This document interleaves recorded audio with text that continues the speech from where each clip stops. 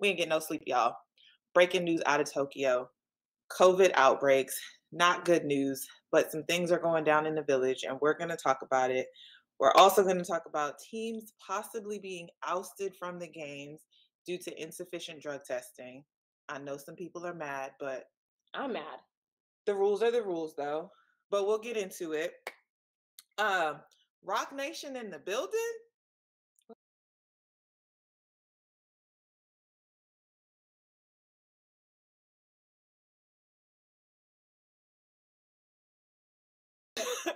But lastly, we have some amazing guests joining us today. We'll be joined by Jaide Stepter and Omar Craddock, Some of my favorite people. some of my favorite people as well. So, a whole lot to get in in two hours. So let's just get into it. Well, before, firstly, let's get into this, these fits, a little The fit, fit check. of the day, the fit Look, check.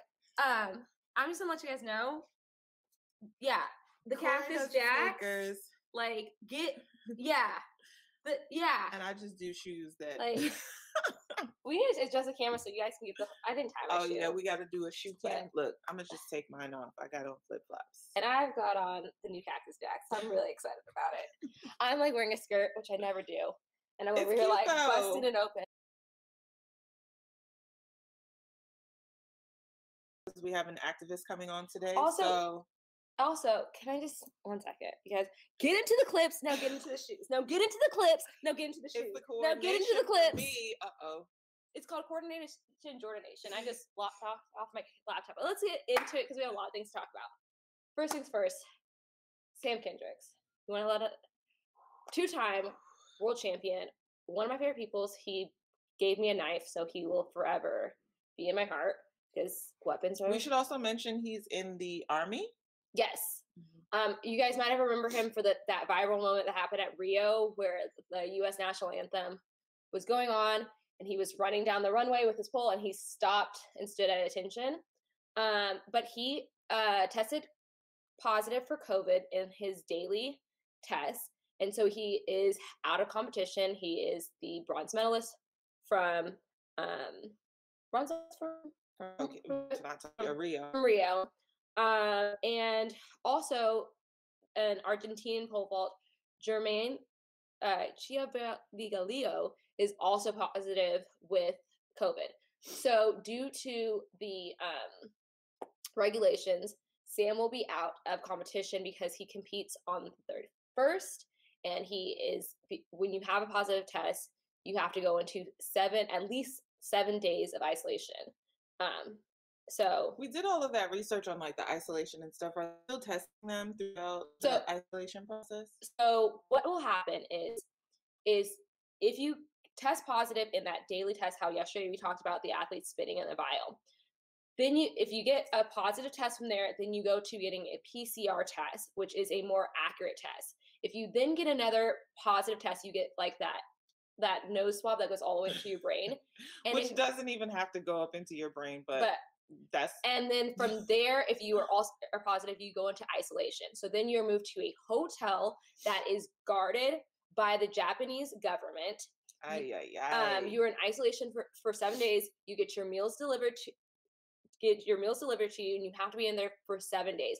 Um, you at minimum. at minimum. You might be able if you they will administer a test to you on the sixth and seventh day, and you might be able to be released early if you get a negative test. But um, if not, you will be you can be in there for a maximum of ten days. Um, in um and in that we're Just talking one is Cecilia. Yes, So he's he out, is out. out, out. um, because his competition starts to, today, tomorrow. I mean, on the thirty first, and he has to be in isolation for seven, for seven days. And um, we talked about mental health. The U.S. medical staff um, is calling athletes that are in isolation every single day to check in to make sure their mental well being is is okay because obviously you're taking a huge blow Right. um be, by your Olympic dreams being trapped and then and then you're then you're immediately put to be by yourself to just deal with that um also if you are in close contact and close contact is defined by you were with someone for more than at least 15 minutes without mask within um, three feet of each other Mhm.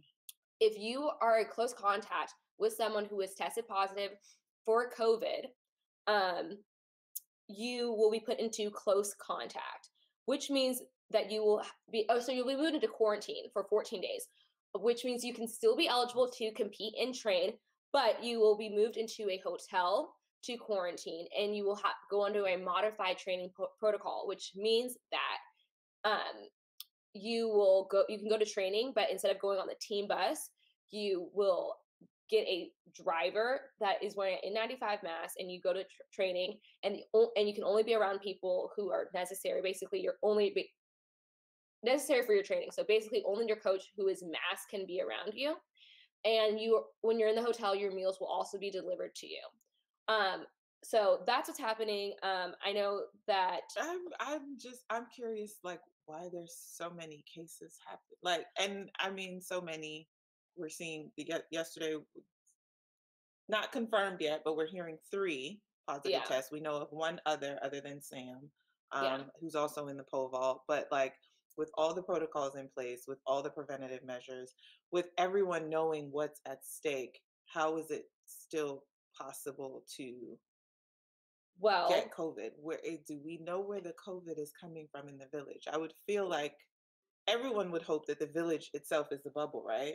well like they really didn't have time to do a full bubble like the like basketball and it's also like it's an international event and Right. also um yesterday tokyo recorded its third straight Dang. day of record cases, um, record daily cases of COVID, and neighboring neighboring prefectures to Tokyo, including Osaka, are have been added to state of emergency measures.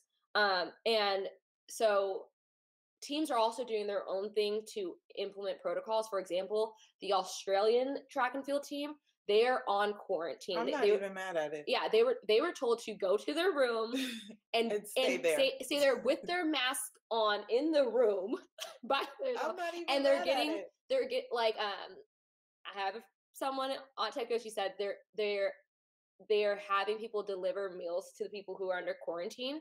And so she was like, "Oh, I saw there was to go plates, and I tried to get one, and they said no, you have to like have a reason to have a to go plate, aka you're bringing a meal to an athlete in quarantine." Wow. Wow. Yes. But I'm so as an athlete, I personally feel like, and I've been like, I said it before, like COVID, like I was like, Kori, you vaccinated? Otherwise, you need to have a mask on. Um, And I stay with my mask in these streets. same. Even when the CDC said like you don't have to wear it, which now they're now ordering us to wear it indoors, vaccinated or not. But anywho, like as an athlete who's waited five years for this moment, like I I'm torn because it's like you want to enjoy the Olympic experience. You want and it just feels like every step of the way the experience is being, you know, Taken tainted and yeah. taken away. So like you've got to be quarantining even if you've taken every precaution. Now you you every athlete there has to be like paranoid like cuz if I get this thing I'm out. Yeah. And um Sam came he he did an Instagram post where he basically explained what happened to him Mhm. and that he's out and he was expressing his He also explained that he took two tests, two negative tests before getting on the plane, one since getting there. Mhm. Um, and then I think it was his fourth test that came back positive, and then he, I, I'm assuming, had to go through that PCR thing. Yeah. Um, and I mean, the testing, we can talk about that because you know, Yeah. um but basically um he was imploring that the the fourth place at trials, Matt Ludwig, take his place, yeah, but I don't know if there will be time possible. to get him over You there and though? get him tested and go through all the protocol because they have to self isolate for. So Yeah, I don't was know. Ready to say it is possible in the sense that in 2007 in the men's hurdles, I don't remember exactly what happened, why um, David Payne was um, allowed to come over, but we had someone go down. Whatever it was, someone in the top three went down. David Payne flew to Osaka, actually. Um, How about? Oh, it says. Look here. He's trying to make it to Tokyo ASAP. yes. Because here's the thing. Here's the So thing, wait, let if me you finish. stay ready, If you ain't gotta, get be ready. So that's my point because David Payne got to Osaka the day before competition and came home with a medal. So it's possible. I'm happy to see this. thank you, team, for answering our question and having this ready for us. Shout out to our team. we Shout out them. Ludwig. Safe travels and good luck. So there's drama on that end with COVID, and then on the other end, there's more drama with some teams not being able to have athletes compete due to um, Insufficient drug testing. yes, I mean, each each country, each athlete is required to have, and we're speaking for track and field. We don't know what other sports do, but I imagine it's a similar standard. You have to have a certain number of drug tests um, that year before going into the World Championships and the Olympics. And we've talked about this before when we talked a bit about anti-doping. That your federation makes sure that the athletes have a certain number of tests before entering the village um and so we talked about you know sometimes you kind of see you get tested more when you're getting closer to nationals or when it's time to leave but you know that there is a standard that has to be met and unfortunately some athletes may be ousted from the games because their federation did not ensure that they had the necessary tests yeah. So the AIU declared 20 athletes from seven countries ineligible for the games because they didn't meet uh, minimum testing requirements under Rule 15. Um, three of come uh, on with the official rules look, we did our homework okay um, three of those countries, um, three of those seven countries um, are Morocco, Kenya, and Ethiopia, and they are on the WADA Category A watch list. So that's also something to consider. That Mhm. like you guys, you guys should be extra vigilant because you know that you're having scrutiny, and then uh, so you need the to make sure. list. So you need to make sure your athletes are getting tested. Um, of those 20 athletes, 10 of them are Nigerian, and they're banned from competition. Um, because- has that been official are they officially banned um, from what I've seen, they're officially banned. Um, and what's crazy is that all of the athlete, all of, all of those ten athletes are in Tokyo right now, and they found out there, and they and none of them have had a positive test. They just don't. They just don't, have, the enough necessary tests. tests yeah Um, so the Nigerian Federation bears complete responsibility on this because it's up to them to make sure um, that their athletes get tested. How these athletes kind of felt the cracks is that a lot of these athletes are U.S. based athletes and in the collegiate system, and the NCAA testing do not comply with WADA standards. Mhm. Um, so, uh, and some of the athletes who had a hope for a medal chance, one of which is Ruth Usoro. She's the indoor and outdoor NCAA uh, champion in the triple jump, and she has been declared ineligible because she was in that U.S. system. They assumed that the NCAA testing would be sufficient, and it wasn't. Um, and Blessing, Okagbare. You can talk about her.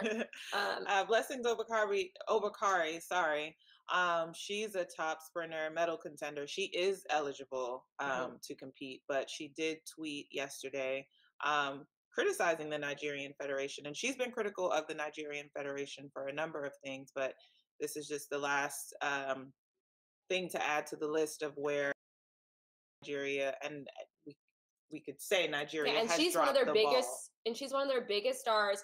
Probably one of their biggest hopes for um, a medal. We've talked about her um, she ran before. 1063 this year. Can we so, pull up that? Um, can we just pull up and like focus on the tweet that she actually yeah, put? the tweet that was up before this one. um, where she basically was saying like, look, you have athletes because it's one thing to be like you missed a test. It's another thing to say like I didn't get test orders and I can't order tests because it has to be spontaneous. the- right, And now I don't get to compete in the, Olympics and like I'm supposed to be representing you. Like right. like your job is to make sure I can represent your country. Like that's your whole job as a Yeah. federation is to make sure your athletes are taken care of. Yeah.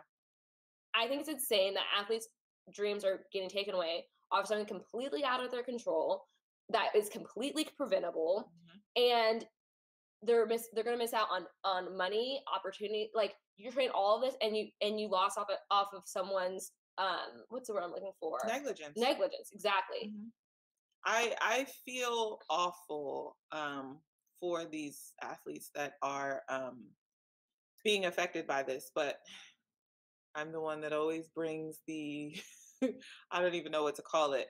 But if I were one of the athletes on the other team and incompetence you're right in competition that knows that yes, incompetence, thank you.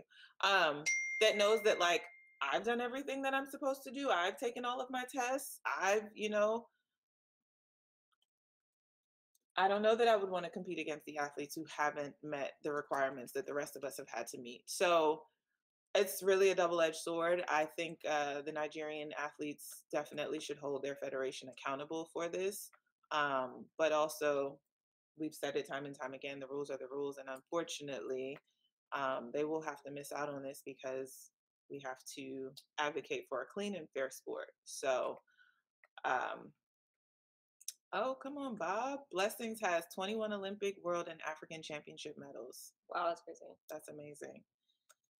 And I just, um, I just feel like I would be irate. I would if if I was in their place. Um, I would burn. I'm I'm burning it. I'm burning the all of Tokyo down. Like absolutely, absolutely not. I'm going to Nigeria, and someone's going to have to pay. Like someone's getting. Someone's got to answer I this. like. I know I'm not so, supposed to promote violence, but in this case, I am because what what in the act? No, no, no, no. Like you know, I'm an advocate for athletes. I just like it's your job. Like do your job. Okay, so um, it's gonna be pushed back. Um, Okay. So I just so we'll talk about Yeah, Rock what, yeah, that's what I'm trying to. Um, I'm just I need to take a breath.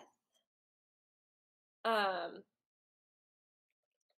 Cecilia, also thank you. We really took our time to. This one was up. I went to sleep. I was up. I was up. I, I'm on three hours of sleep, but guys. she I'm on really th- took her time to do her research. I did a little bit, but she she was in on the things. I was like, I need my sleep.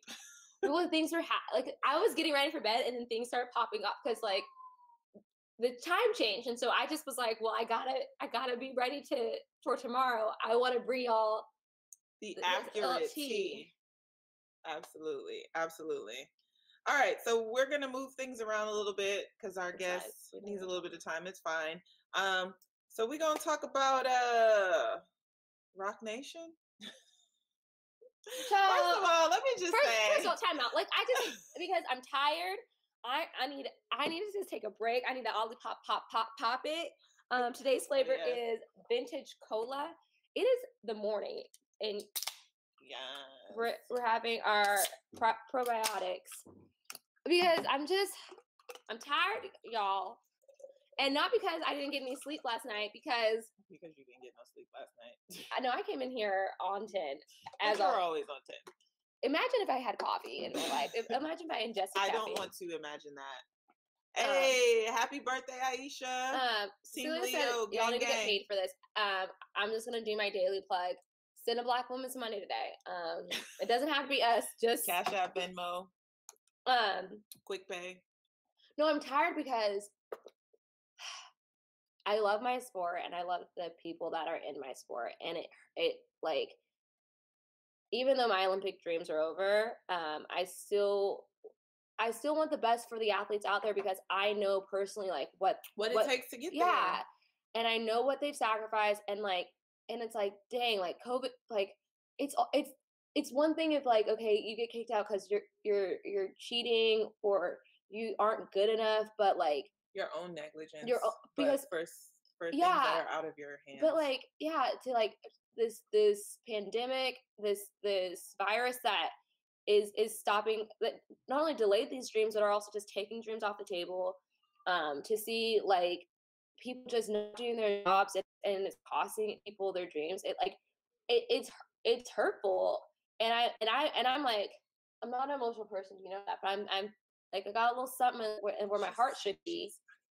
Um and i can only imagine what these athletes are feeling because like it's like dang like like if if it was because i wasn't good enough okay but or if it's because i, I messed up all right but I think then also add that these athletes are already in Tokyo and in Tokyo by themselves with, With the- no family, with no, you know, y- yeah, you're there with your teammates, but like, all right let's just talk about let's just yeah. talk about how some athletes that i'm like y'all done y'all done got into t- tokyo Listen, so Aisha actually asked me yesterday about Roc Nation. And honestly, when she sent me the message, I was like, Roc Nation? Like, what is Jay Z doing there? Seriously. But honestly, before that, I did see some Russian athletes in the gymnastics, and I was like, I'm confused. I am confusion. Why and how is Russia there if they're banned? And and we'll get into the details of the loopholes and such, but is it fair that they're there?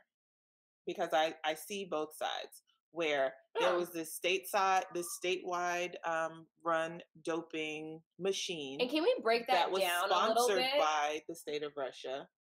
like, so- can you imagine if if our president was like, "Let's get drugs into our athletes so that we can show the dominance of the United States of America"? Mhm. That's essentially what Russia did. Eh, basically. But if I, as the athlete, was not involved in that, should I be penalized for that? As the athlete, as the personal athlete, as the individual athlete, I feel like no.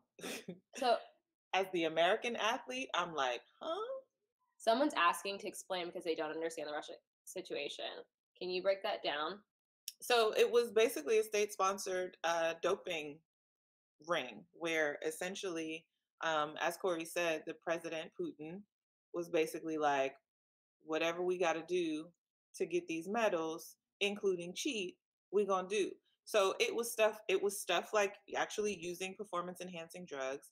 It was stuff like switching out urine, and it was so intricate and detailed and planned out that the testing people were in on it. Like they were the ones switching out the pee, and so everyone from the president, coaches, staff, it they were in on it. And if you want a real breakdown, like there's a film, I think it's still on Is Netflix, Icarus? Icarus. It is like it gave on me Netflix. chills watching We're it. not giving plugs, but yes, watch the Uh, film Icarus.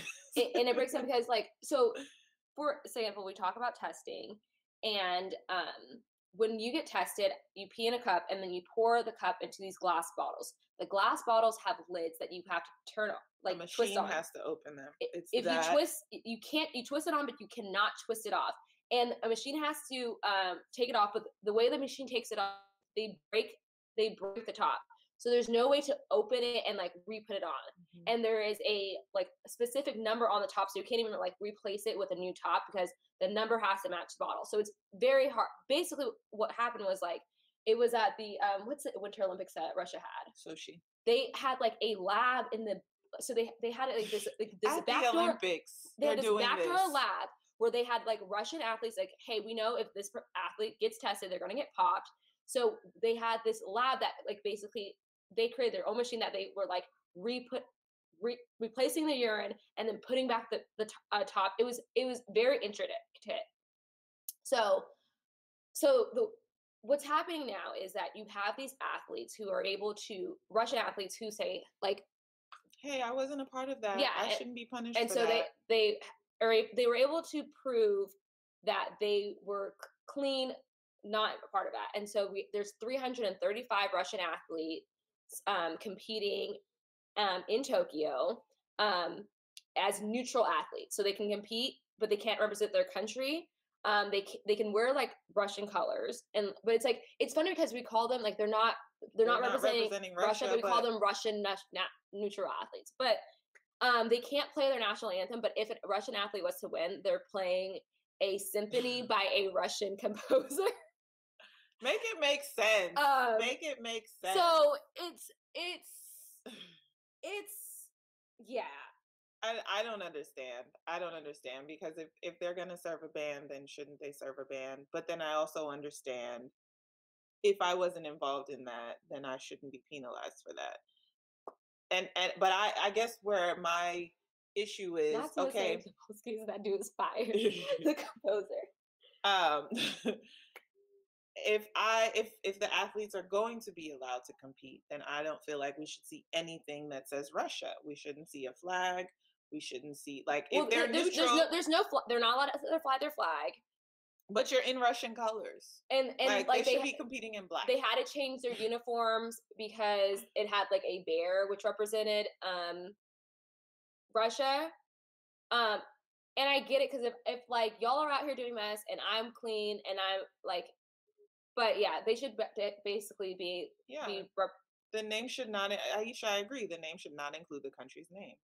Yeah, yeah, because it's like and here's the thing is it was funny because I was reading this article, I think by CNN, and they were basically saying like Russia stays changing their name. So like they've been the Soviet Union, they've been you you know all these. So like, what's it, it? Especially if it's like the Russian what is, what is it called? Olympic Committee. Cecilia said, "My thing is, if it's so widespread, I don't know how you can feel comfortable with 300 plus saying out of everyone in our country, we're clean and high level. Come again." Yes, and so 10 of those athletes are track athletes. Um, I don't I I've been doing my research, but I did not get the names and the events of those 10 athletes. But if y'all want it, I'll I'll go find it. um, and I just I think that it's like there's always going to be that level of doubt because how do you prove that you weren't cheating? Like right. the whole point, like the whole point is to when you cheat, it's not get caught. Like maybe they were just, and I'm not saying the 10 athletes that are competing are dirty. I'm just saying the shadow of doubt. The exists. shadow of doubt exists. And I feel like it's all, Russia is still out. Russia is still being represented in the Olympics, and they have a. Ooh, Aisha, this is a good one. They also should not be allowed to compete as a team for their medals to count in team medal count. Does their team? Does is it? It uh, apparently there is a medal because I mean ROC, and they're gonna have like the medal yeah. count is the thing when we're in the village like that's literally like the thing between countries like ah we're at such and such number yeah. of medals like and that, and that is... was the whole point it's like they wanted to show russian dominance that's why they did this whole pro- program and more than 100 athletes in rio were banned mm-hmm. uh, more than 100 athletes in rio were banned uh, and i don't agree with it i don't yeah and so apparently um the russians flag and anthem sh- will not be played at an Olympics until the 2024 games in Paris. Um, That's just in three years. That's not well because yeah, their their ban was also reduced. So yeah, which I also found there they yeah because last year the Court of Arbitration of Sport cut Russia's ban in half to two years following a, an appeal, and I just don't understand like because how do you, sense. how do you how do you like lessen a sentence for a whole country that like deliberately cheated and on such a egregious wide scale but then like so much so but, that your government your president was involved in it. Like that's deep. If you if you really think about it no i, I like i like that is it's insane. deep. It's insane and i feel like to, what does reductions prove? Like the whole point of the ban is to deter countries from doing this and I'm not saying that the athletes who are there in Tokyo shouldn't get to compete. I just don't feel like Russia should be represented Mentioned in any way. In I feel like capacity. it should be black uniforms or maybe a rainbow because y'all representing the world right now. Just like you, we or you out the world. May, and like, or maybe instead of Russia, you just have your name on your chest because you out here for you and no country. But I, you, they should you should be done for decades. Like because here's the thing, like, it's funny because I'm like, yeah, because Russia, like, I feel like Russia's always been such a powerhouse in the Olympics, and oh, but, oh no, but it's like, they are. Of course, they are. It's always, especially like but, in in gymnastics and track and field, it's always. But of course they are. The medal count, yeah. Of course they're a powerhouse. We're if they're cheating, going, it's always the United States, China, and Russia. And there's, there's and look, ROC is in there. Oh shoot! And they're already at 25 medals. But my thing is, of course, Russia is such a powerhouse if they're cheating. And so my thing is, I we just, don't need I to. Have, we don't need to have Russia in the Olympics. There's this ain't there's about me, but I'm about to make it about me. Make it about in you. 2013, come on. We placed second in the. uh I, We placed second, and I placed fifth in the 400. So second in the four by four, and fifth in the 400. I'm now a fourth place finisher, and a gold medalist on the relay. I can't get that that moment back. Mm-mm. Like we were bashed for having sour faces because here's the other thing right? You know. They were just right they were just banned but we all kind of, there's always whispers there's always rumors but it was finally proved. So you know we're on the podium and we're disappointed because excellence is the bare minimum And we didn't win. Because when it comes to team usa relays like if they don't get go- like and i haven't been on one relay team for team usa excellence is the standard. I, because i remember i remember um, I was talking to Allyson and, and I think she was on a relay team with like a bunch of young girls and they got silver and they were excited. And Allyson was like, No, we here to win. Mm-mm, that don't fit right. So but we were really like dragged over the coals only for a couple years later for Russia to be disqualified. And then at the World Championships in 2017, they had like this little consolation medal ceremony that like who cares? And and the thing about it was it, they had to have several medal ceremonies because so many athletes were disqualified because of this ring so there's so many layers to this and when you to did your like medal- sit back and be like oh but you know there were some athletes who were possibly clean but then when you think about the moments and the impact of such a cheating scandal, a cheating ring on Yeah. the other athletes, like it's so it's like we were on the podium in 2013, sour face, and then in 2017, I'm supposed to get up there and smile and but it's like, but no, like Here's all I'm saying is Russia, it gets to be a team. Whether they are their ROC, Rush like Russia's in the name. and got 25 medals right now. like And you yet should not be acknowledged. and yet there's Nigerian athletes in Tokyo knowing that they don't get a chance to compete because they're federated. It's just like make it make sense. Like I know bad things happen to good people, but I'm just like we're rewarding cheaters while people who have never tested positive are not going to be able to never compete and and not because of anything and it just y'all know i am for the athlete at all times and i just feel like this whole thing is shady boots. It's shady shady boots I don't agree with it. I'm I try to give like the level headed like, but I I don't think Russia should be there. Period. ROC or not. I don't think. I think if the country is banned, they should be banned. Sorry to the athletes who were clean. sorry to that man Who, uh, but and we're I not saying ban the them- athletes we're just saying like they don't get to have a medal count like they Yeah. don't get to beat russia it's just I and even competing know for I'm saying that. well for me it's because i always i always put myself i like i like to be devil's advocate and put myself in other people's shoes so i feel like you should be like if i was a russian athlete i would be out here Kori Carter competing for Kori Carter. And that's it. That and that's what to me that's what it should be if it's going to be anything at all. That like if you're neutral you're neutral but we're acknowledging russia i just liam wants to be a part of the show again. The only rock be rocb knowledge is dame and hose. I'm telling you period. when when i got that message i was like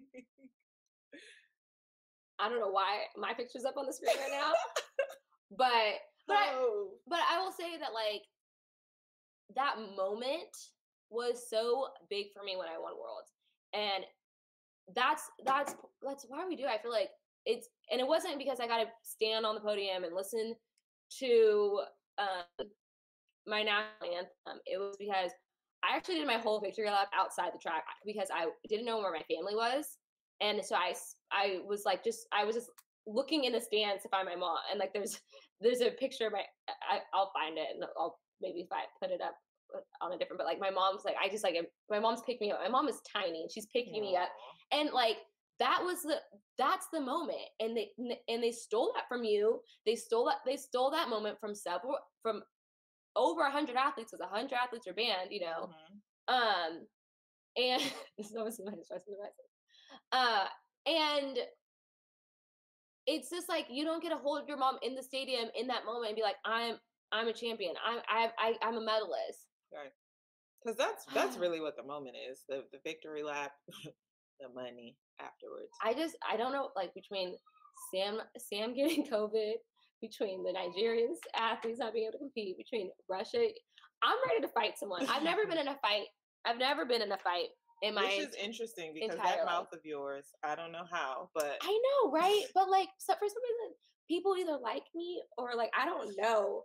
But I've never. I, but I want to get in a fight. Okay, because okay, here's the thing. Like, I do have a mouth on me, and like, you know, when you're in an argument, you're like, I'm not. Maybe I am the one, and I should diffuse the situation.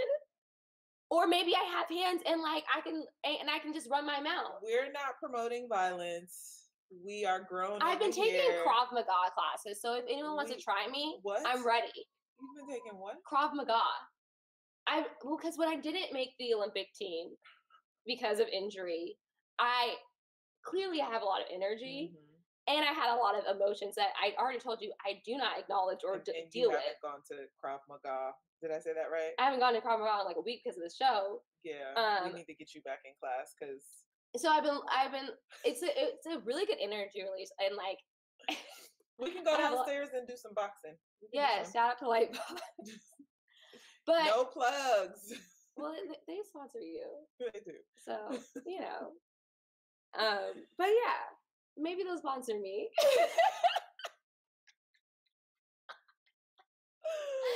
Hey, a Uh, black woman today. oh, I'm making sure to say that. Um, All right. but yeah, I just if someone wants to, maybe oh maybe I can do one of those like you know how they. I'm not a celebrity, but like maybe I can get one of those celebrity boxing matches. Um, All right, let's bring it on. get on get on Twitter and can someone start a thread on people you would like to see me fight? Um, I'm ready. I've I've taken one or two weeks of training Leave and me out feel of it, okay? That's all, Kori. That ain't it's not about Summer. it's not about being That's- paid. I just want to like see if I can do it. monster. Um, But basically, what I'm saying is, like, if you guys have some like people that are like, hey, this would be a good fight. I just want to know if I have hands. I've never been in a fit. Well, I have been in one fight in my life. I fought my sister Kelly. Um, that doesn't count. but listen, the thing is- here's the thing: is my dad was like, he was mad at. He was like, y'all are arguing over nothing. Move the table. Three rounds. Let's go. My sister Kelly's six years older than me, and like, she Wait, your dad set the fight up? Yes. And here's the thing, like the difference between me, 12 year old, and, and my 18 year old sister is was vastly different. But I'm crazy. So I thought I had a chance. And my sister's not really taking the fight seriously. And I got one good punch in on her. And my dad said he saw like something the go off, go go off. at my sister, and he was like, ding, ding, ding, ding, ding. Because he was like, that was the day Kori was gonna die. And he was he thought that we weren't going to take it seriously and was like, Dad, this is ridiculous. We're gonna, you know, settle our differences. Not realizing that the women he had raised are about that life. Ay, ay, ay. Um Yes, Uh-oh. Gemini energy. Um My little guy had a problem. All right, so we're moving things around since um what time's our first guest? it, it's at 1045. That's why I've been rambling about Oh, okay. fighting people. Well, then let's talk about the other topic that we thought we were going to table until tomorrow. We well, I feel like we we- like we we don't have we, he's coming on in five minutes. Oh, is it five minutes? Oh, Yeah. I, I'm still looking at our time. I'm sorry. I'm sorry. yeah. So well, let's do this. Let's take some questions because we we shot out a lot of things. What We've kind of- got I'm a true. I feel like I'm a true five Gemini. minutes until our first guest I- joins us. Um, I don't. I like. I feel like I've done the co-star where like I know, like I've looked at my my moon and my rising, but I don't ever remember them. But I I feel stuff. like I'm like diff. I'm but like in a lot of the houses, I'm Gemini in like most of the houses, and then I'm like something different in in a couple other. But I'll I'll I'll bring my I'll bring my chart to one of these. Let's do both of our charts. Oh my god. Um, Mercury's always Mercury's that's Marcus. That's my best friend. um but yeah i feel like i'm i'm very much a true gemini in that like just as friendly and as nice as i am because gemini is the twins that's how mean i can be but i only and like that when you see me switch into the Kori monster like my little viral thing that i feel like that's gemini energy like i'm happy and then i can immediately be like all right i'm ready to cut someone that's the type of energy i have when i'm on the line um, what what's oh you're we know you're a Leo. Leo. And she Uh, do you follow any other Olympic events outside of athletics? I follow gymnastics. Don't get me started on like who, what, what anybody's names are or anything. Um, I saw something yesterday where like they're talking about moves are now being instead of like the triple flip, it's like the Gorbachev or something. Like Oh, they're yeah. naming moves. You're a after the- Gavashava. it was a Russian athlete that they were talking. Imagine this banned, but we're still talking about uh Russian athletes and doing spotlights on them. But um, because they were good at what they were doing. I'm not gonna I like I can't hold on at that. Like they were cheating, but it was I Russian mean gymnastics is like a they pick you from like the age of two and say like they're gonna be a gymnast. We're moving you. I I actually so my college um athletic trainer head Mhm. athletic trainer she actually works at Cirque du Soleil now and yeah she's like their head trainer she's like big shot but um a lot of their acts are Russian acts. Oh And She, she told me that um, a lot of them talked about how like the state would actually take them from their homes to put them into training. Like it was rug- rigorous and you know like, what's funny from is very like early ages. the type of person I am. Like I feel like I would have loved that. Oh my god! just because I'm like, I mean, I love being like a kid, but also like, I see myself as like a warrior princess, and like I always wanted to be like, now you're entering training, and like just like, you know, Yeah. and like your life is dedicated to but at this like craft. five, Yeah, that's that's. but I, I also know that I'm not the right. Like, I don't think you should do this for all children. I'm just saying, I saying, 'cause I would have thrived in that- imagine. I think I would have thrived in that environment. I I love I love structure, and like and like training. wow. People are gonna be like, Kori's a psychopath. You and you were are. correct. Um I feel like there was one more question, and then does that mean Omar is ready to come on? Let me check my producer. we got two minutes. I feel like Omar do you see Omar he's awake. Um Oh, I don't that's I didn't want to leave my home. I just feel like you know when you watch ninja movies and they're just like in the acad- academy, I've always want I've always been like one day I will train to be a, not a gymnast but like a Oh, warrior. Here. Okay, we'll bring Omar's him here. in a second. Um, yes, athletics heats start tonight for us, but over in Tokyo it is Friday already. Um, so tonight. Yeah, yeah. So we got to stay up and watch tonight. Oh, but the finals is because I was like, we have to have our board and I don't have that ready. I have something planned for y'all, but like, give me a second. All right, so we're gonna go ahead and bring up Omar. I just clicked I- on him, right? No, it doesn't work for us. Um, but they'll It bring him in. Yeah, but like before they bring him, can we play this clip? Because I love Hopefully Omar's. we can play it. There we go. Yeah, the bunnies, little boosties. Stop it. Oh, sorry. All right. So- here it comes. So, if y'all don't know who's in the building, it's Omar Craddock, aka Omar Goodness, aka Patty. Craddy D. Huh. Um, Omar is a skater. He specialized in the in the triple jump. He's a Pan Am gold medalist. Um, he has made how many teams have you made, Omar? A lot. uh, four. Been on a lot. More Something than like that. things.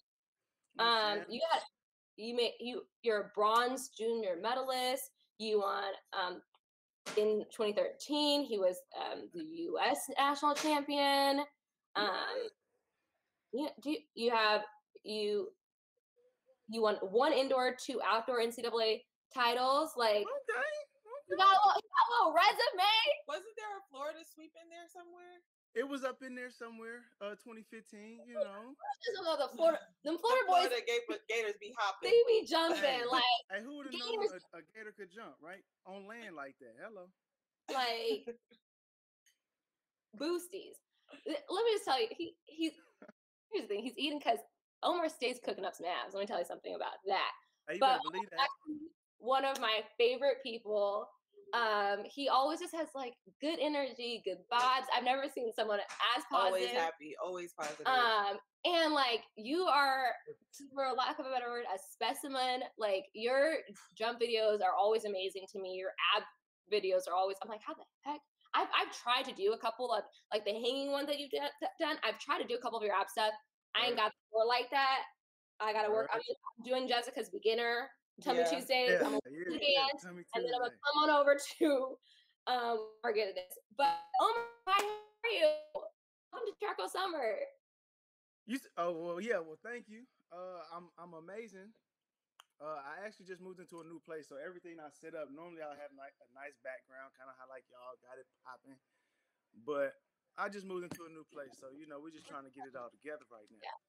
But I appreciate you wanting to bring a vibe in the aesthetic because you know how we like to do here. Yeah, yeah, you got to be ready for that. And you see, I got my goodness hour shirt on because you know it's goodness hour coming up soon. So Can, Okay. can you explain to our Explain, fans who- what what's this happening. hour is? Uh, so when I left college, I always had a passion for just obviously fitness. That's why you know my core, as you mentioned, is something that I I, I guess I specialize in. Uh, but you know, in the U.S., like a lot of people are typically um, not in the gym, right? Um, we we have like one of the highest obesity rates, and so I, I I just love fitness, and I just truly believe. I guess the philosophy behind Goodness Hour is if you give yourself an hour at max, and at the minimum 30 minutes of true work, uh, fitness work, walking, running, actual gym work, you will reach those fitness goals you want. Uh, and so that's why I created Goodness Hour. And then the the second half of it was for obviously to bring people along the journey uh, to make the Olympic team, but you know circumstances happen and I'm not there. But yeah, that's that's really the, the premise behind it all. Let's play, let's play that video of Omar so people can like really get get in I'm get sorry, into I it. was, Yeah, I was listening to No. I didn't even see a new video pop up. My bad. I'm not on my job. I'm a, I got you. This, we a team. Big team action. How like do you see the distance he is covering? Probably jumped over two or three of me. So first of all, can you just Jump out of the pit? jumping out the pit? Hello. Yeah, yeah, Hello? I need that as a sound bite, okay? Put me put me put me on one of your albums. Let me let me do the ad libs. Okay. let me get in the Straight pit. like that. Hey, Um, 'cause you Omar got- hey, man, so you one of my favorite on Instagram. I'm telling you. Every time your questions of the days or, or whatever it is, it's it's, it's pure entertainment. Love it. stop. We need to talk about Omar. And first of all, let's just let's just talk about track triple jump because one of the things we like to do is break down track and field. So you don't have to be an expert.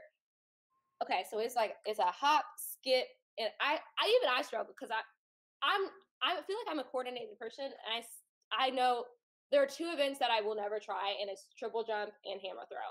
But can you just explain to people? I'll, feel like hammer I would die. Um, can you explain to people how you just the progression, the phases of triple jump? Yeah, I mean, as you said, it's it's a hop, uh, it's it's a step and then a jump. A hop, a Uh, skip. I I remember when I first started, my my middle school coach was like, "Omar, you look like you could triple jump. You jump twice on one leg, switch to the other, and land in the pit."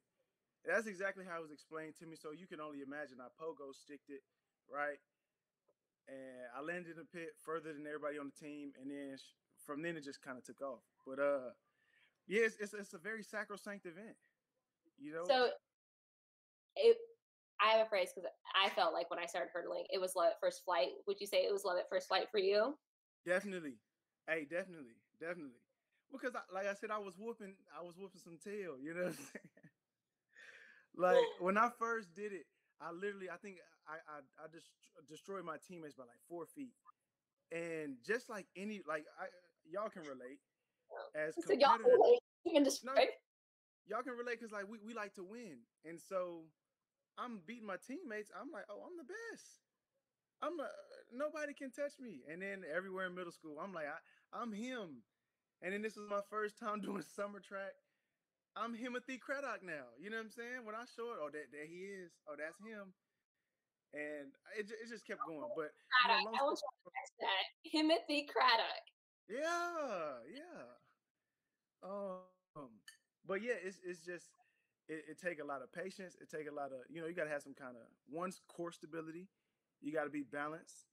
Um, and then we have to have some kind of speed in there too, right?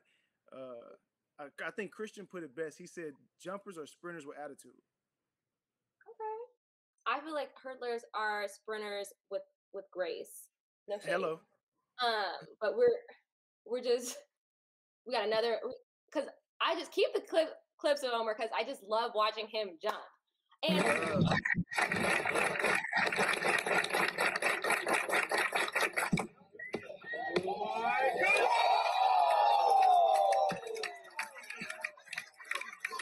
Uh, uh, uh. Woo! Yeah, that celebration at the end. I was supposed to play a guitar, but I started getting, I was getting excited because I'm like, I really just like bounce. and that's one of the things that I feel like TV does not capture. One of the reasons I love jumps is you jumps live is the event. Like y'all put on a show, y'all. I feel like y'all have a little brotherhood, Straight all up. y'all friends, but y'all battle hard, but y'all talk mess the whole time. Y'all include the fans, And Yeah. he doesn't after that. So I'm glad you're here to like, so they can get the vibes. But speaking Yeah. of speed, I feel like um, you have a very long approach to get your speed up, and so indoors it kind of inhibits you. Can you explain that because of the runway situation? Um, so many many people uh, explain to me that I, I run more like I'm a quarter miler, not like a sprinter. Uh, and I guess because I have long strides. Um, and and I and I'm shorter than most of the elite jumpers. I think Will and I Will probably has me by an inch, but Will's limbs are long. You know what I'm? Uh, but I'm more compact. I'm I'm, I'm if I play football, I could I could definitely be a, somebody's running back or somebody's Yeah. safety. You know what I'm saying? So uh, I, I think that kind of attributes to it. I understand that I'm more of a power jumper. I'm not a, a speed finesse guy. Um, Yeah. So outdoor, it's like, hey, I got all day. Let me build up. Let me be like Sonic. That's what I explain to like, I guess kids or anybody you know from our generation that still doesn't understand track. I'm like, you know how Sonic powers up? That's me. I need to power up. And then by the time I'm in my transition phase, now I can turn over and then boom, there's the board. Um, indoor, obviously, uh, is short, right? Uh, we, we You have a shorter runway, so Omar doesn't have enough space to really get up to speed like he wants to. right, So right, he has to, what jumpers are called a short approach. correct, right. correct. Yep. I, I pretend No, I'm you- a jumper. hey man, you doing your you doing your Hey, homework. I could be a jumper. Let me tell you. You're doing your homework. But yeah, that's that's it. It's it's short and and I just gotta I have to adjust. So And speaking of the fan experience, we got to let them know about Omar. Literally goes to work, and when I say he goes to work, mm. Omar comes to comes to the track, hard hat on. Y'all think I'm you think I'm kidding it? Yeah, it's but- a video somewhere. There's a video somewhere Omar with a literal construction yellow hard hat walking Yes. off. No, it's not. I love this. It's crazy.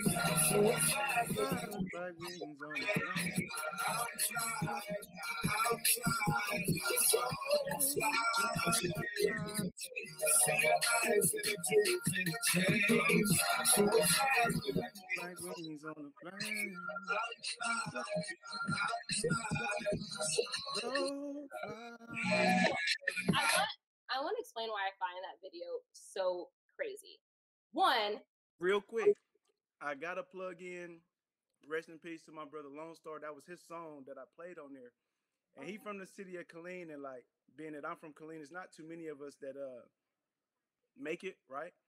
And Mhm. so since I've made it from Killeen, this is a way that I can keep his music living on. So anybody that heard it, that's in the comments, that's Mr. Lone Star, you can find him on everything.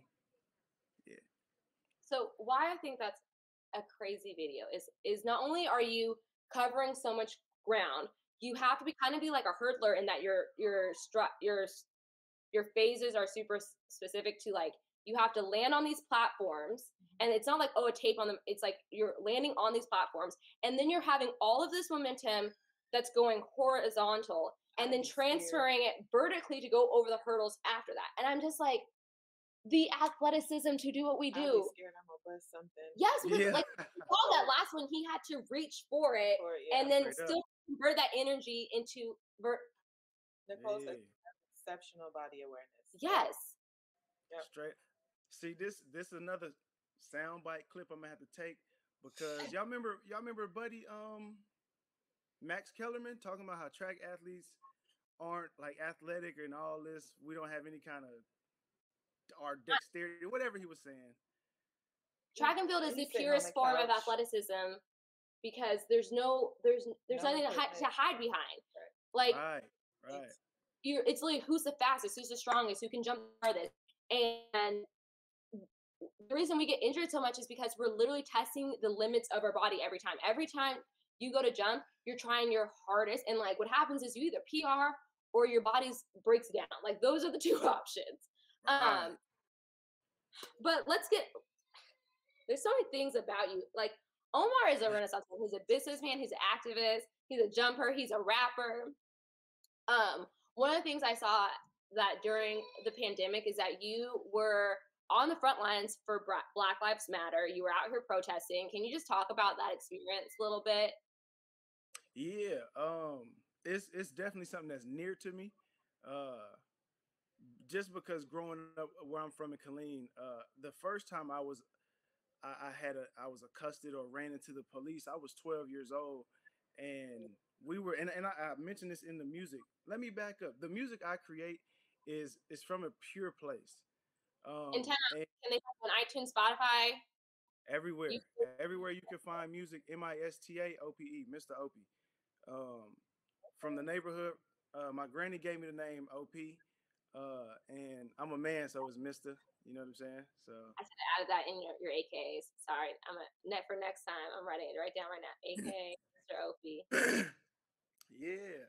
Uh, but truth be told, yeah. So um, it, it comes from a real place. Uh, and and I've noticed in in I'm gonna just say our lives that there's nothing that changes under the sun. The music that I created in the Red Light Special uh, was music you can hear from past time. Tupac spoke about this. Uh, from the likes of Michael Jackson spoke about this. Marvin Gaye spoke about this, and you see how each time frame was different. This was the 70s, 80s, 90s to 2020, right? So uh, it's just continuing to forward the message like, hey, we understand what's going on in this world. We truly, we we here to survive. You know what I mean? We we're leaders, uh, like you said, activists. We're businessmen, women, um, mothers. And Natasha, I'm about to be a father. You see what I'm saying? So, yes, I heard. Yeah, thank you. Thank we you. have your pregnancy announcement. We'll we'll we'll have that. no doubt, no doubt. Um, so yeah, it's it's just uh I've always wanted to be like a man, right? And in the sense of you say what? What does like being a man mean to you? Yeah, to me it's it's being a, a, a leader, a real leader in the sense of the word, not not like some kind of dictator, but somebody that when when women look at they like, oh, that that's a man. Like he handling business, he doing what he does. He can Well, protect a woman, when I look at him like that's a man. 100. And then when the fellas, like even when fellas look look to you, uh, whether it's your peer, somebody older or somebody younger, they look at you like, man, I want to be like him when I grow up. Not because of what you're doing outside in the streets, but it's because you are actually being somebody for the people, and and you trying to clean up, you know, what's been done wrong. So uh, that's that's the purpose of of anything I do, whether it's in sport, um, in music, uh, business period period. And, and i like to refer to myself as a, as a poet rather than a rapper uh Oh, yeah, just I- I because that, that, that has a bad connotation. And tupac is one of my favorite artists. And he was a poet more than he was a he was a rapper. You know, I'm like a West Coast rapper because I'm a Cali girl. Uh, so you were a lot of times on the front lines in protesting, and you're protesting in California and Arizona.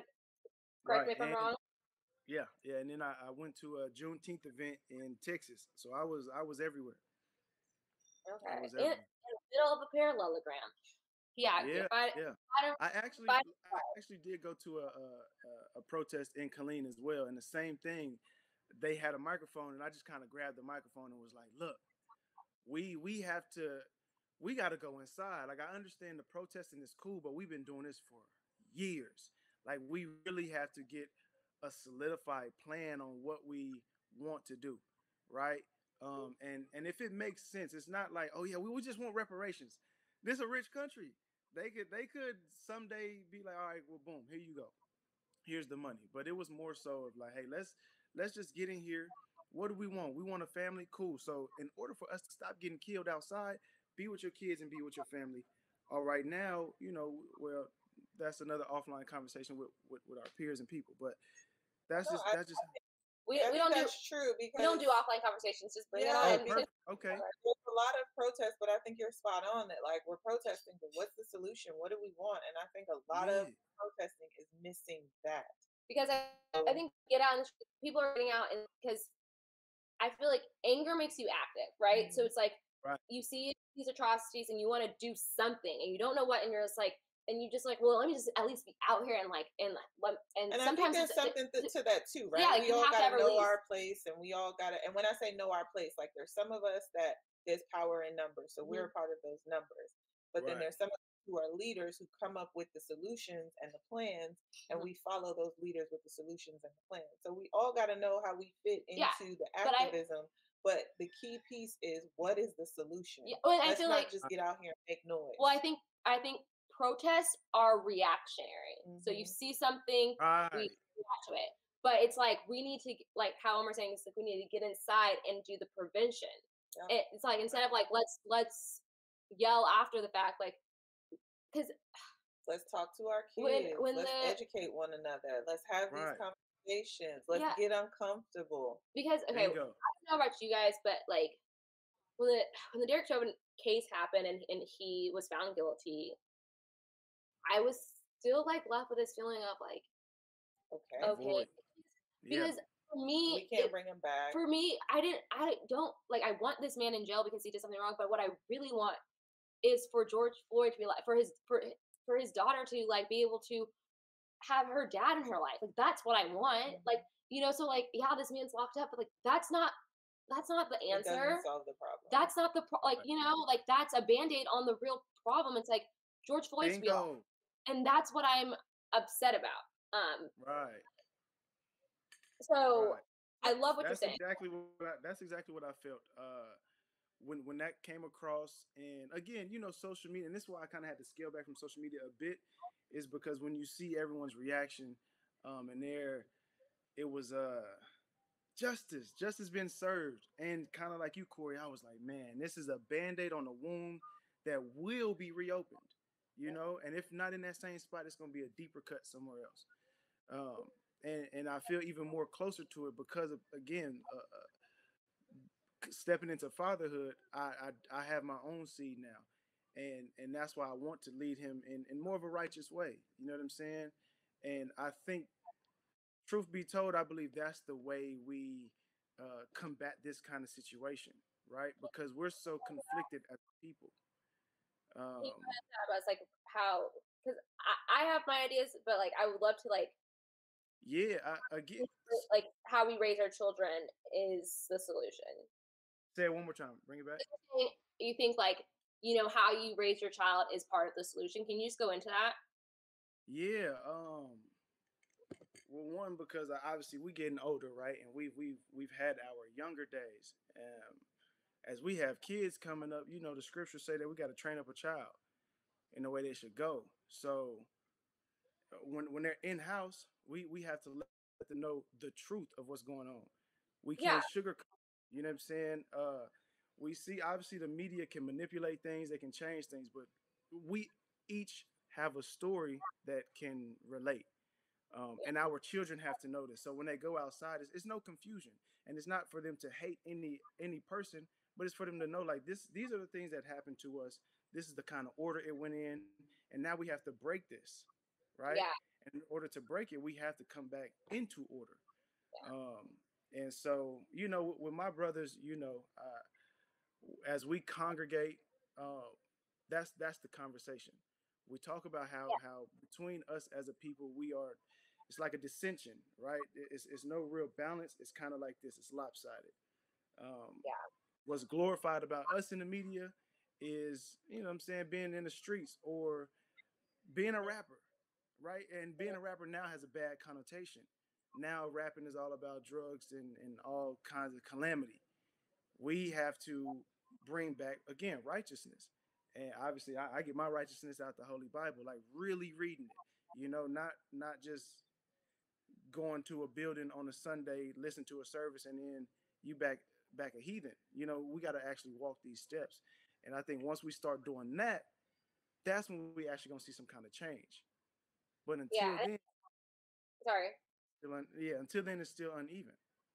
I think it's really sad though because like we have these conversations about like um uh teaching race theory in in schools and it's because like they, they don't want you know white children to feel guilt but it's like we have to rob our children and of you their of, of their and innocence childhoods. and tell them like hey like this is the reality of like living life as a black human being Right. in order to protect them and keep them alive Yeah. like it's literally for survival and you know I that my mom as and I having a conversation with my brother because we had him in a school, and I say we because I'm 12 years older than him.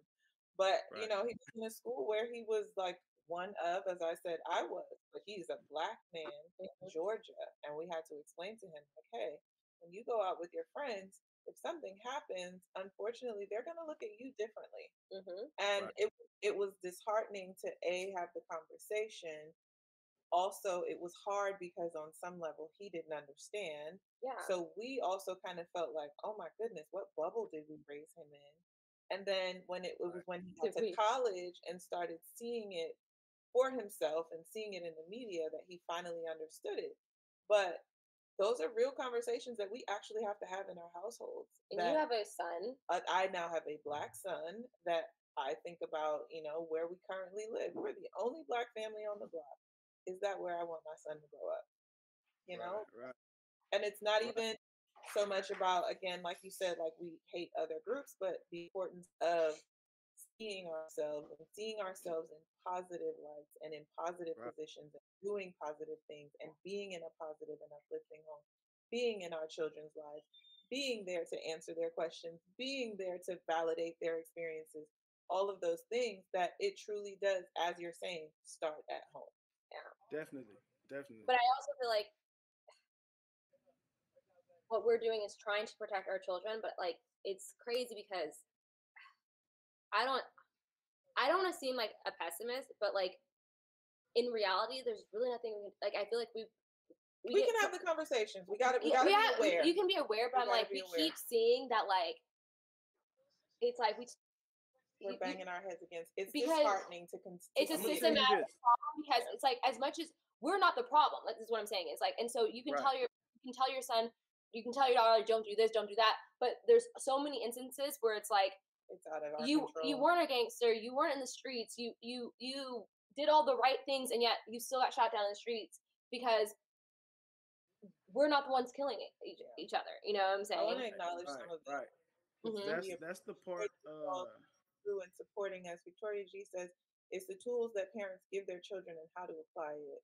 Um, aligning with the order within chaos, it is calmer in the eye of the storm. That's from Albert K.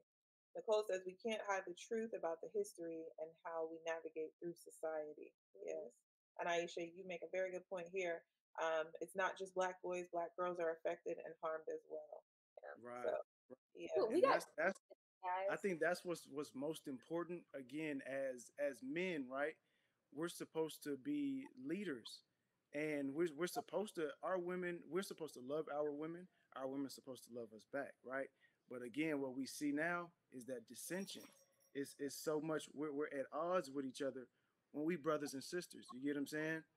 And and that's why I feel like that restoration, it has to come back. We have to, you know, get back into uh into order to where we can love one another again like i said i, I get mine out, out the holy bible and it say you know if, if we were to come back truly come back to these commandments we wouldn't have black on black crime because we'll love our brother uh, I- I was just like, I don't like the term black on black crime because Right. it's You know, it exists. it- it- it's crime against because people people commit crimes against the people that are in their in their, circle, In their circle. and so the correct brown and white uh, crime exists, brown and brown crime exists, like ev- because it's And like some you- of those numbers are actually higher than black on black. and, and I'm saying Definitely. and, Oh, like, definitely. I just I just like to be very like intentional with words, words mean things, and I'm like, so the, reason, the reason i the reason i said that is because outside of the people that may be commenting when this mm-hmm. goes live somewhere else youtube that's going to be a comment well what about you know what i'm saying we could talk oh, about yeah. Yeah. talk about George Floyd and, and, and Chauvin and this stuff, but then people are going to say, but what about? but What that about doesn't negate the fact that like y'all should like other people shouldn't kill us either. Like correct?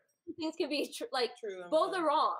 Like, And and so that doesn't give you a pass to kill us either. Like, Right. even if that Right. was a real thing, which because it's I, not. I think what you're also saying too is we have to hold each other accountable, Accountable. and that's that's where I feel like we run into a big part of our issue is that if I hold you accountable, I don't support you. That's one of my biggest Bingo. Yeah, It's Like, yeah, no, no, I'm actually supporting you because I'm holding you accountable in love, Mhm. right? Sure. That's that's the part that we gotta stick to. That you know we gotta hold Right. each other accountable in love.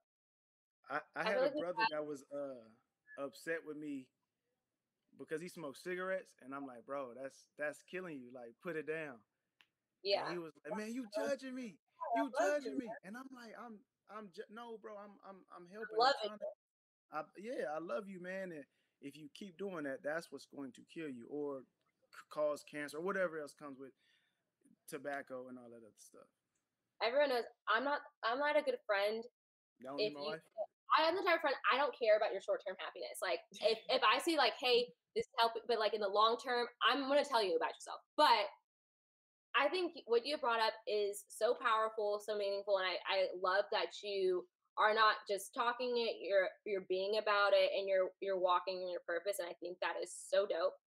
We like I did I don't want to end this conversation, Right. but we have Jaide coming on ne- next Nah, yeah, no doubt, no doubt. you know me, I love supporting black business. I love supporting track business. Omar is an entrepreneur. He has a uh, self care line, these goods. I actually, that's what's on my lips right now, just a little chappy lip. Yeah, yeah. Um, and and We're treating them also- chap lips, baby.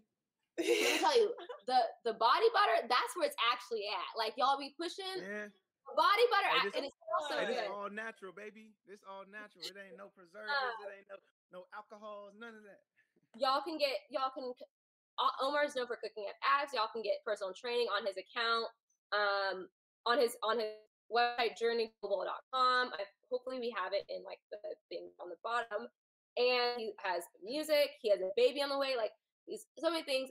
Um, Omar, let people know where they can find you on the social social media on your website, how they can support you.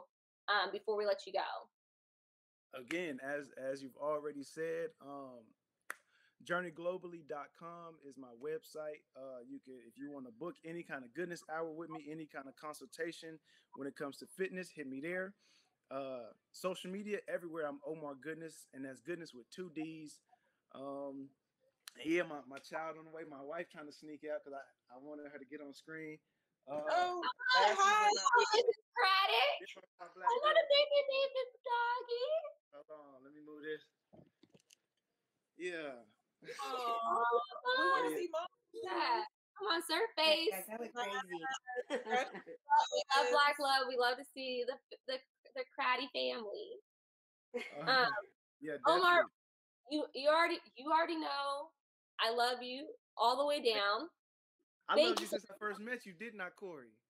Look, you know we're at, I'm not gonna lie. Omar did not like me the first second he met me. Fables, y'all. Them fables. I grew on him, and now now we gang gang.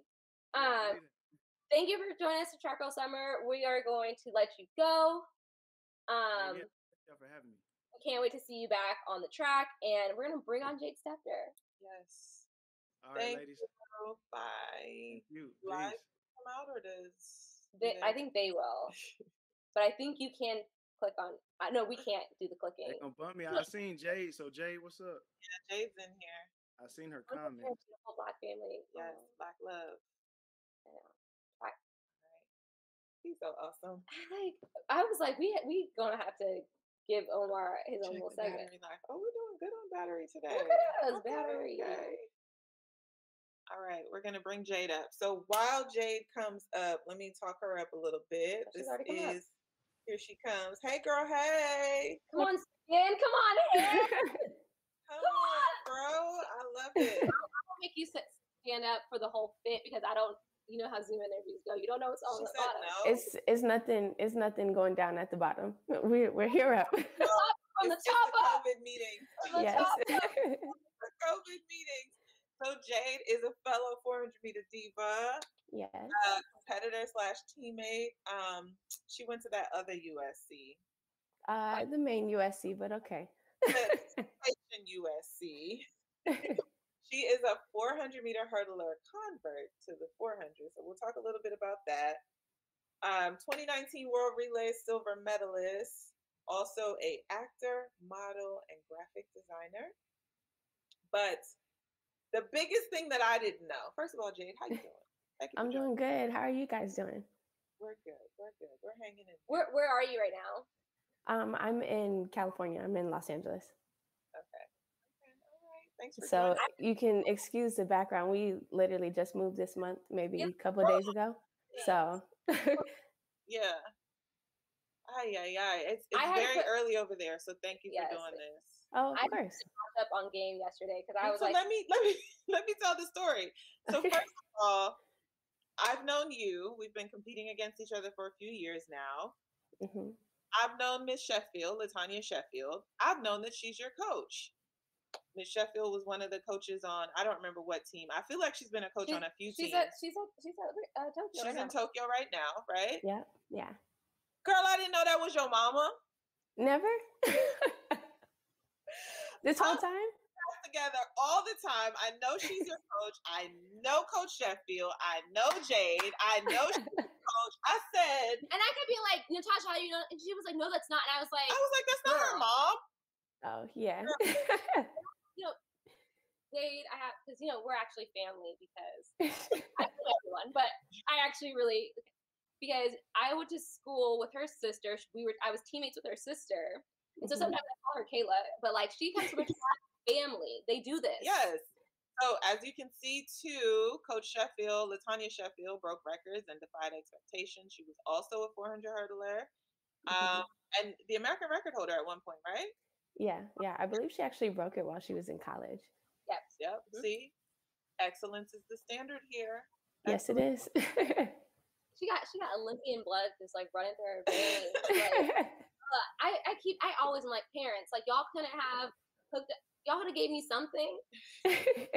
I think it's so funny because even when I went to uh, the 2019 Pan Ams in Lima, um, that was my first time being on a team with her. Uh, that like we were both there together, and so many people didn't know that she was my mom. And I feel like to an extent, I kind of do that on purpose uh, because I do definitely distinguish, you know, coach and mom. And Oh, when I'm at a track meet, I'm at work. So yeah, so there's that. But it's so funny because I don't think that we look alike at all, and so I feel like because of that, people don't really draw conclusions at all. So that's really funny that you didn't know.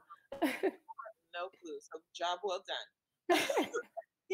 How long has she been? Has she always coached you, or was it just after you graduated? yeah, so she was um, the coach at my high school and like uh, with my club team and stuff. So I did USATF like club track, um, and so she was a coach there. And then at my high school, and then when I went to college, I you know had my coaches in college, and then after I graduated, I went back and trained with her. So I've been training with her as a professional since 2016. Okay. And so tell to I what because we talked about this in terms of like husband being coach, right? Boyfriend being Yes. coach. How does it work? Mom, mom, not only being coach, She's but your mom, was mom, mom. mom, mom, mom, American record holder. Like excellence is the standard. How do we do this at the track and then go home and still be mom and daughter? And I don't hate you and want to fight you because let me tell you, my mom and dad, no. Absolutely not. Absolutely not. But So if I, I, I need the tea. mm-mm. Yeah, I mean, honestly, I would say that because I've had that dynamic with her for so long, you know, since I was in high school and even before that doing like youth track, um, it's been very natural to me and just kind of like, oh, yeah, this is just how it goes, you know, like you're just trained by your mom, like that's just what it is.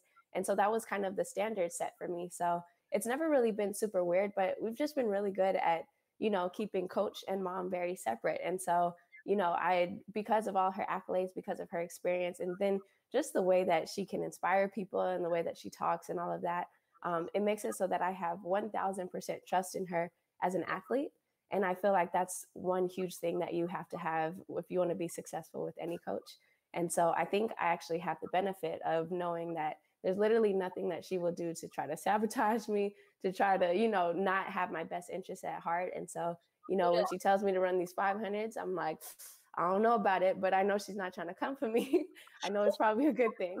But yeah. it's, it's in love. Yes, exactly. And then when we go home, you know, eh, she's really goofy and having fun and it's like, okay, so when am I gonna have grandkids? And I'm like, when you stop having goals for me, what do you mean? Oh, Coach? Like Okay. so you know we we play around and all that kind of stuff but for the most part we we try to keep it pretty separate and i think we've been really successful you know i call her coach on the track and i call her mommy at home Oh, okay. I love that. and I feel like we've both experienced your mom, and like your mom is actually like The bomb. the bo- I'm like, because I've always your said, uncle too, because your uh your mom's brother, he's also been he was the coach on the 2012 Yep. indoor team that I, I- was yeah. on. So still, just excellence is the standard. but like, I feel like I've always said like I could get coached by Latan Sheffield like because of the vibe she has. And your uncle, he was the coach Ron on Sheffield. That's Ron not, Sheffield yes. was the coach of my like first youth team, and I Oh, still wow. he, what he would do is he would print out quotes and put it on your Oh yeah, door. he did that I, I still have them. For years, I still have them in my in my house, and, and it, it's, it moves with me because I was like, no, you. Ha- I imagine he did that for you too. Um, yeah, I would say to an extent. Not, ne- I've never had a quote on my door, but I'll definitely get one. You know, a little text message here and there. So um, he he got all the quotes. He's on deck with the quotes for sure. I Love it. So, feel like both of them are just so good at, at inspiring. Yes, they are. They really are motivating, inspiring. Your mom was even talking to me this year on the road with me, like coming back from mommyhood and like, love her. I yeah. love. This is about you, but like, and she knows that. yeah. Girl, you're not done. You need to come back. You just had that baby and uh, And and the thing is, she she can say it because she's done, done it. Done it. And also, I just feel like my relation I have with my coach is like, I know my coach loves me down, and like, there's nothing he wouldn't do for me. And I'm like, to have your mom, like, I know, like, Yeah. she's gonna fight for you every step of the way. yeah. And you're right. Yeah. Go ahead. All right. Well, here at Track Girl Summer, we like to bring a culture to track and field. So we're going to segue out of track and we're going to talk a little bit about Jaide, the person, because there's so much awesome things going on, right? So I don't know how you do it. I, I think I'm busy. But I, I'm reading this stuff. So actor, model, graphic designer. Booked and Yeah. busy. booked and busy. You currently work for, was it Ruggably that you do their graphic design? Ruggable. I'm a senior graphic designer there. Senior. All while training for the trials in a, a parallelogram.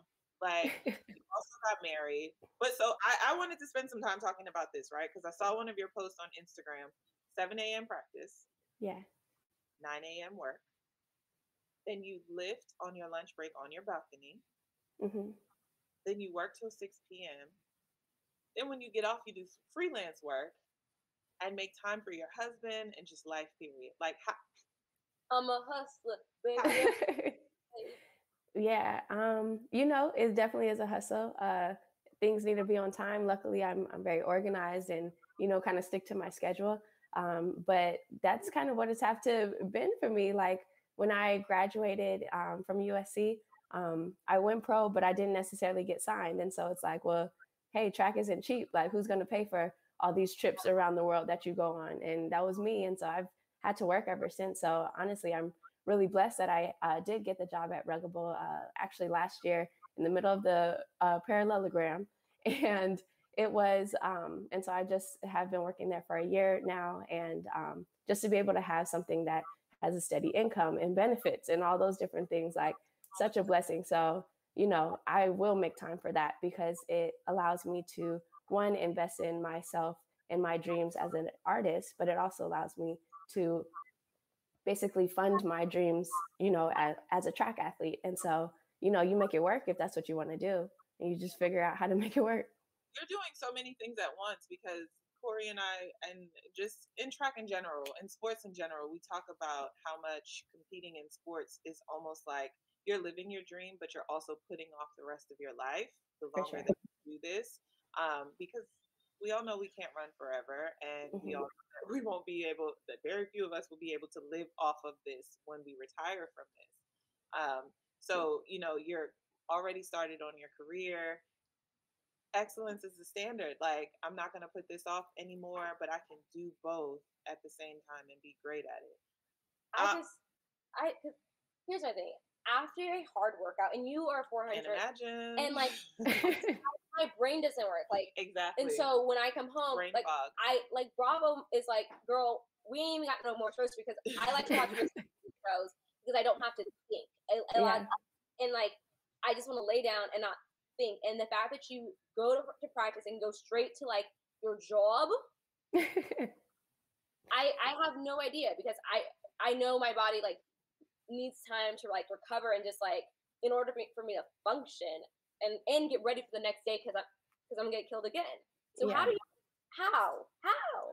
Um, I think honestly, when just kind of my personality, or just I don't know, but when I have to do something, when I know that there's a deadline, or I know that there's something else that I have to do, I'm really able to just will myself and get it done. And and how you guys said, excellence is the standard. So if I'm going to get it done, I don't want to get it done in a janky way or like, oh, I just skirted by. Like I want to get it done in the best way that I can. And so I would say honestly, like it's even helped out in training because I remember there were times that, you know, you have short recovery and say maybe the recovery for certain runs it's supposed to be, you know, six minutes or three minutes or whatever. But I'm checking the clock like, hey, I gotta go. And I'm like, coach, um, can we cut this recovery to 90 seconds because I have to go. Work And so, Oh my yes! so, I need, I need every I need second. every second. I need every second. what? yeah, so I mean that definitely sucks, but I feel like it's made me so much stronger because I've been able to do stuff that I'm like, oh wow, I, like I didn't even think I'd be able to finish the line at you know cross the line with 90 seconds recovery, but now I, I know I could do so much more if you know my paycheck's on the line. So what I'm hearing, and because I asked you how are you able to do it, and like you gave this long answer, but like to summarize, Jaide is better than us. I Jaide, Jaide. Jaide is better than us. That's and it. that's fine. Like, I I, I, I accept it. Like just you said, uh, actually, just better. Not quite, but I I figure it out. I'll say that I, I figure it out. It on paper it doesn't really make sense, but somehow I figure it out. So no, I'm I'm really thankful for that. Say, light hard work is easy work. Like Yeah, that's how you got to approach it. black girl magic, like excellence, excellence is the standard, all of the things. Can we talk about the one thing that's getting me that got me through the quarantine? This wedding at the Yeah. Fairmont. yeah, But We're gonna take was Take the gorgeous. I hope we have some pictures We on. do. I- do I have made sure we pictures had on, on the lineup. Um, first of all, I love, love, love that you walk down the aisle in your beautiful fro. Thank you. through, and I appreciated. See, look at that. Are we able to click in to like zoom in on? Just gorgeous. Is there any like, way that we can make? Oh, oh no, we can't. Okay, never mind. We, we tested it out. I love it's the clavicle, but it's fine. absolutely stunning. And I you. appreciated it even more after reading your post about what it felt like, just the vulnerability of like cutting your hair and feeling exposed, but then growing into loving your hair. And, and I feel like we're sometimes pressured, not sometimes, we are pressured into walking down the aisle in this European slick look. And it's just like, but look at how beautiful this is. Thank you. Look at how stunning this is. yeah, this definitely wasn't the plan at first. But sorry, go ahead. No, I was just saying I was because let me tell you something. Jay was like, first of all, she she she did you did like you were able to zoom your wedding to different people, which I love. But then she was like, for those of you who weren't able to attend my wedding due to you're going to this get these panini, pictures. and it was like she just kept hitting us on Instagram. Was like, and here's the venue, and here's our every day. I'd be like, life, life. it was so good. It was such a beautiful and like, intimate ceremony. But you could just Yeah, talk about tell, it because I us loved about it. the day. Tell, tell us about your engagement story. Tell us a little bit about your husband. And planning a wedding in a and a- pandemic and, and a having to parallelogram. Yeah, so uh, we actually met, uh, we both went to USC. Um, we were in the same recruiting class. So we started dating in 2013. Um, so we had been dating for a while. And uh, he would always like come because he's from the East Coast. His name is Aaron. And so he's from the East Coast. So for certain holidays, he would actually come with our family because we were only driving to Arizona for the weekend versus it would take him all weekend to fly to the East Coast and fly back home. Um, so we got in the habit of him coming down to Arizona for Thanksgivings, and our family definitely does it big for Thanksgiving every single year, um, minus last year, but whatever. Um, so yeah, so we do that, and so he came down, um, and what we started doing is called uh, the Turkey Lounge, and so basically everybody, whoever has whatever kind of talents they have, or poems, or whatever it is, and they go and they basically just present their talents or just express their thanks or whatever, and it's like really fun and lighthearted. And sometimes it's really serious because, you know, just extended family being able to feel that love, like people are really appreciative. Um, so for the first time, uh, he's always been talking for years that he wanted his parents to come down. And so for the first time, they were going to come down. That was in 2018. And he was like, oh, well, I'm going to, you know, prepare something for the turkey lounge, uh, you know, just recognize that my parents are here and this and that. And I'm like, okay, yeah, great. That sounds good. Um, but when he goes into something, he's like in it 1000%. And so he's like on his uh, iPad and doing all this stuff and making a slideshow, all these different things. And I was like, bro, it's not that serious. It's just, you know, get up there, say thank you, and sit down. And so essentially, he went up there. Um, uh, he was like, "Hey Jaide, can you hold the slideshow for me, like as I talk about it?" I'm like, "Yeah, for sure." So I went up there, and it's called an acrostic poem, and basically, it's like using the first letter of each line spells out something. And so he put together this poem. Poem. Yeah, and so it spelled out my it spelled out my first name with his last name, and obviously at the end he asked for my hand in marriage, and you couldn't even hear me say yes because everybody in the room, it was like 60 people in there, everybody screamed and said yes because they've been waiting on it. Um, so there was. we need you to end. You gonna marry this man. yes, exactly. Like literally, he couldn't even get the words out. Like everybody was just so loud. That's not how the proposal was supposed to go. But it was really fun and it was awesome to have my family around. And he specifically planned it for that because he knows that I'm such a family person. Um, and so he knew that's who I would want to be around. Um, and then when we came, when we drove back home, he had planned a surprise party, uh, like engagement party with all of my friends at my apartment, actually. Um, so the whole thing, he he handled it uh, for sure.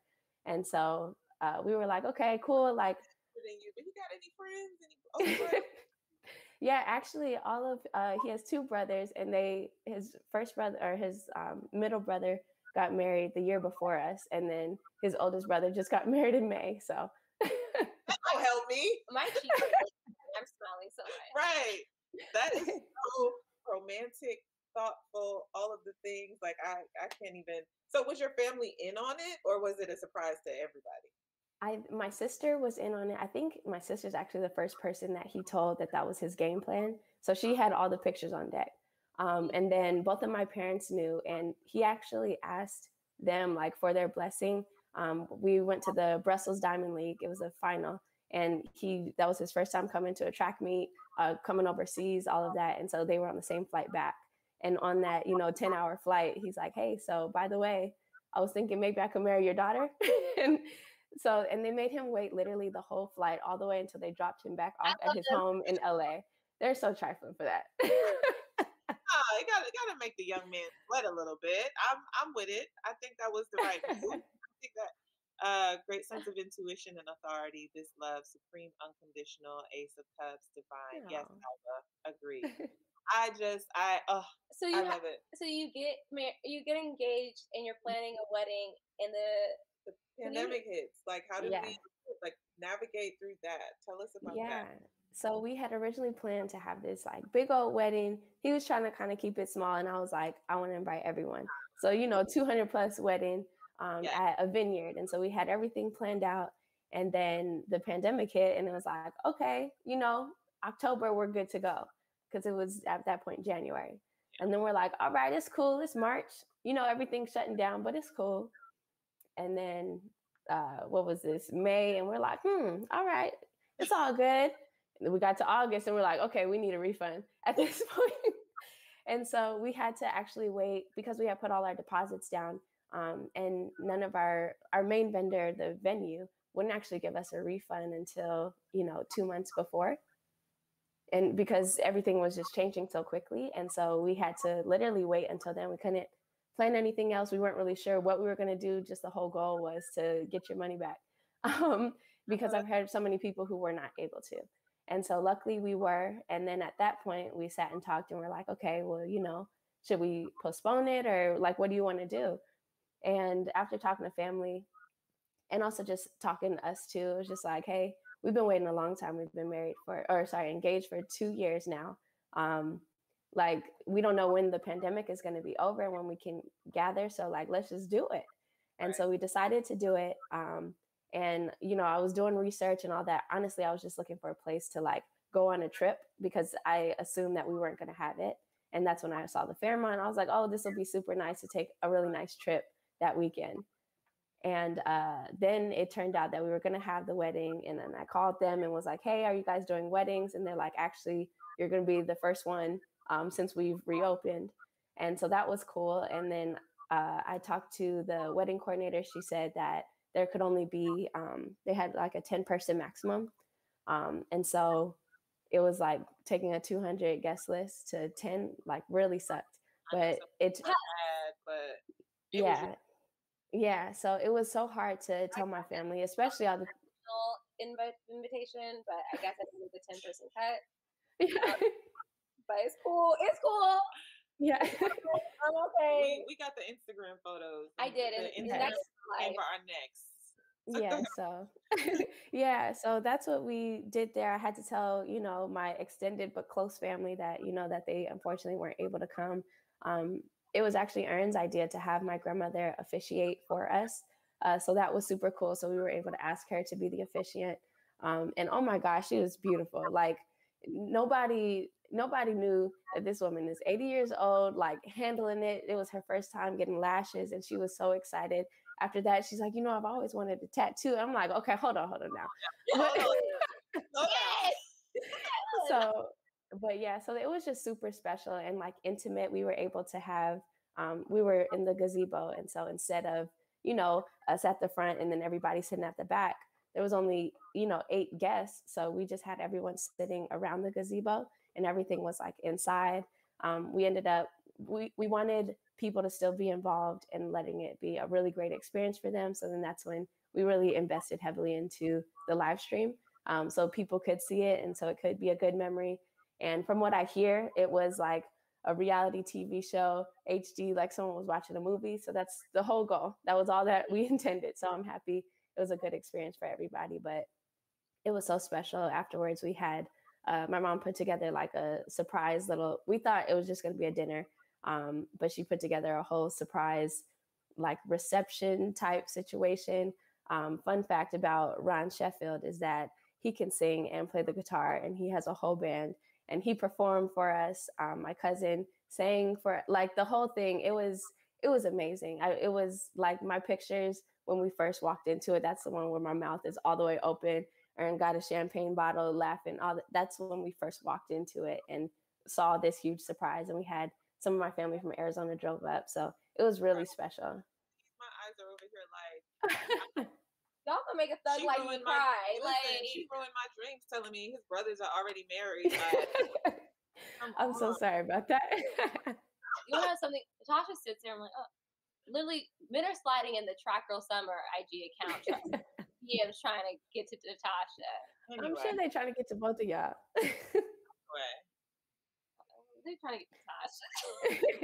anywho, back to Yeah. Jaide. This I I this is just I, I just love black love and just and her family coming together to make sure her date is perfect. I like yeah no they held it down for sure it's definitely You're still gonna make this day And it magical. looks so I think you just gonna Oh, come thank from our necks on the social. I, and I'm sure you have even more still. Yeah. Yeah. Our photographer was amazing. And I just, it was like very selfish of me to try to hold these to myself. Um, so I decided I needed to share with everybody. But uh, honestly, the hair, I had planned to, you know, get my hair, you know, pressed out, laid and curled and all this kind of stuff. And when it turned out that we were going to be going to San Diego, honestly, the hairstyle came because just logistically, it didn't make sense. I was like, I'm not going to pay for a stylist to come down sense, okay. yeah, so I was like, I could do this myself. So I And popped in a couple braids that morning. I did a wash and go, and I was like, all right, let's go for it. And it was more of an afro than curls that I had expected, but I was like, I'm good with it. Let's just let's just go. And I'm so happy I did. I was so comfortable. I love And- it. and 'cause you don't have to worry about sweating out on the dance floor. But Yes. also, if you like want a couple of natural hair tips, Jaide gives great tutorials on on the socials. Yeah, I want to talk about that. That like yeah. d- you do everything. So you mentioned earlier the actor, model, graphic designer. So tell us a little bit about your freelance work. That like the content creation is on. I'm the two content people over here. I'll be like, out. I'm running out of creative juices. Tell us about it. yeah. So Hire you. Oh, got you. Yeah, hit me up. You got my phone number now.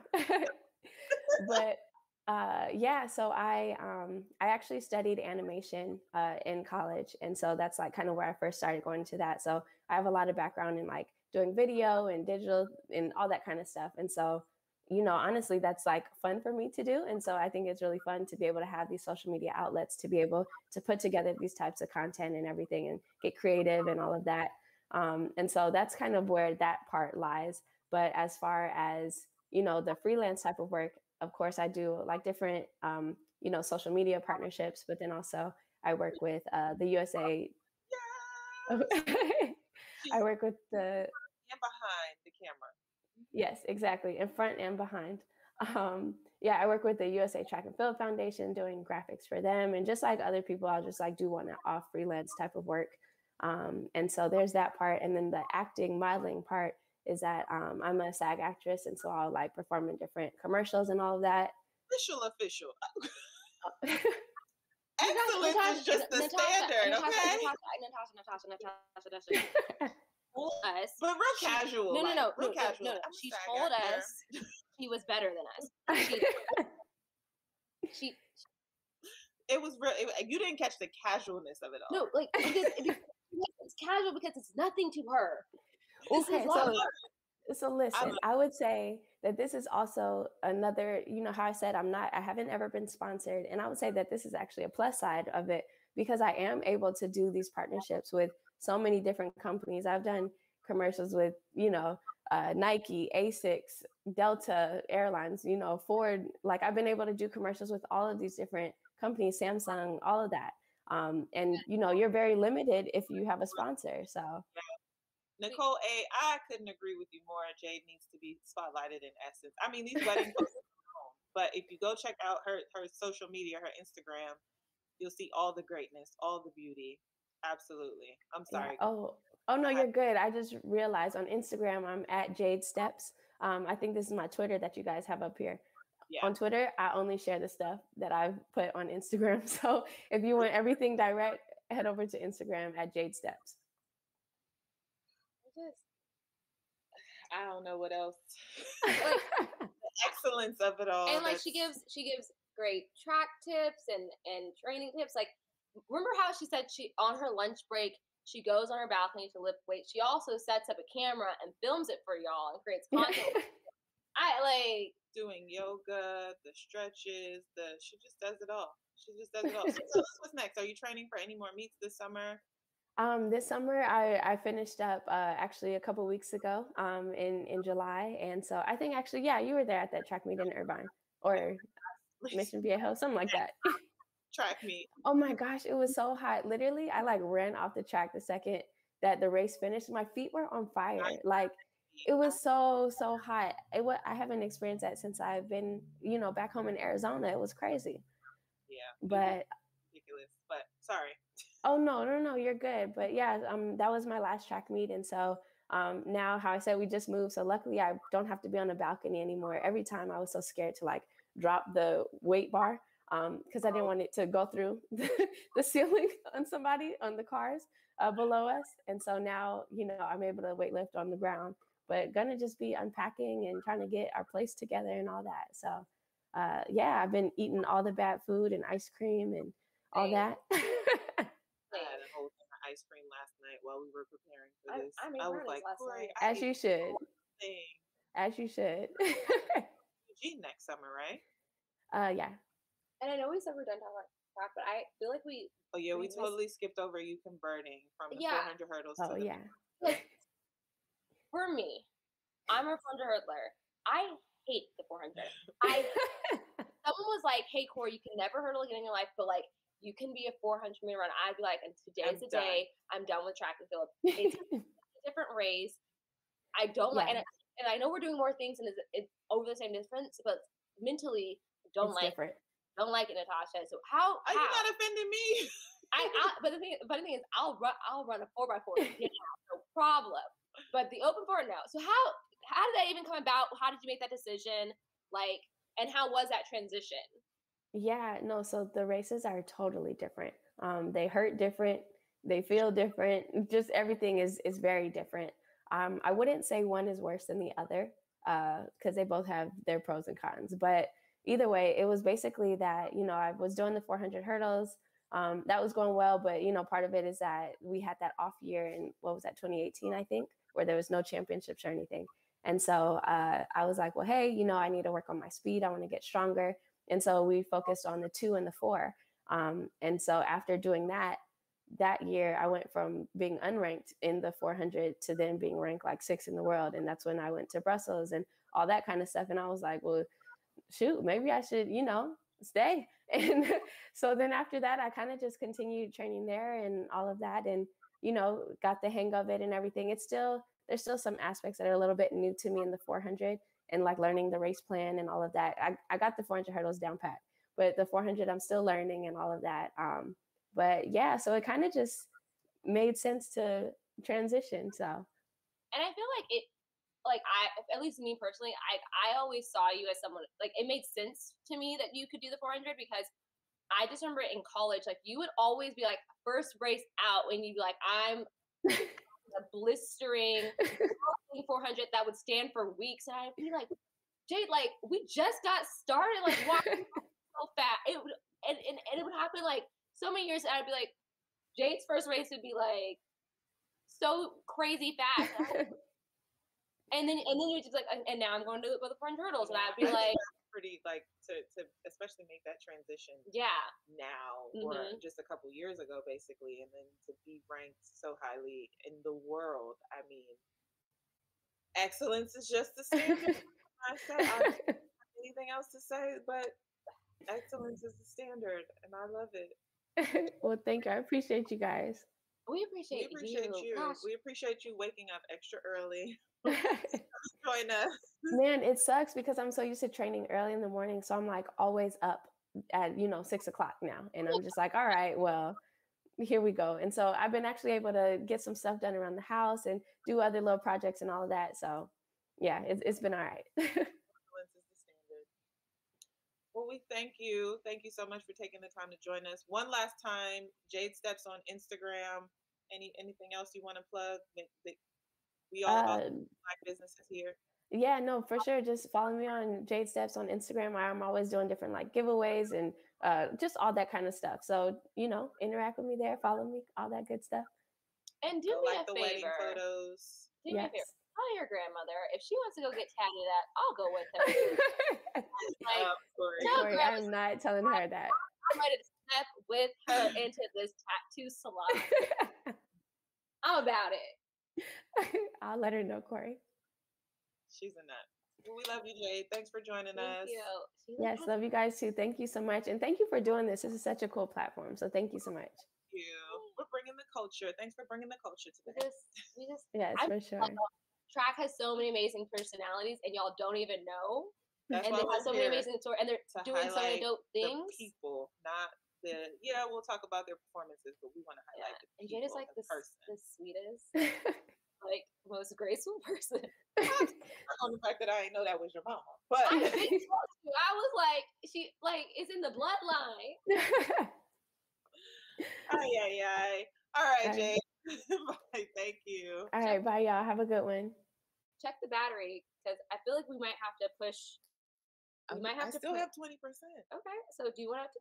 We, we got uh, ten minutes. We got ten minutes. Okay. Wow. Well, so we got 10 minutes, but it, I mean, it's been a great show. We covered a lot of things. Uh, I feel like we can do like this little sec because yesterday we were talking about mental health. Yeah. Um, with athletes in I was gonna open the floor for any questions. Oh, okay. Then let's do that, and we can talk about it tomorrow. Yeah. Because I haven't um, done more research on it, anyways. I've also been. Some of you have been noticing that we're kind of like back and forth on the computer because we're trying to keep up with like what's happening, and we're simulcasting um, right now. So I see that there's some questions oh, in smart. the YouTube. And so I just want to say we want you guys to act interact with us here at FanFest. So yes, you'll be able to go and watch the live later on if you weren't able to make it here. But we want you all to come and interact with us in the FanFest while we're live. And then after, you'll be able to um, enjoy the replay on the YouTube. Um, I guess I'll also take this time to say that I realize there's some technical difficulties with the tweets. We click the tweets on our end, but you can also cl- click the tweets when they're on the screen for them to play for you. Really? I, I think that's what the producers told me. I hope I'm giving correct information. People want to know when you're doing Potomac review. Oh, Potomac. I may have had time to watch TV. Y'all, this. This is a full time job. We enjoy, but as you can see, like we're making a really big effort to make sure that we come with the real true tea. So we're having to do research, line up interviews, just line up all the things. So I I will do maybe when the games are over, maybe I'll do a Potomac review.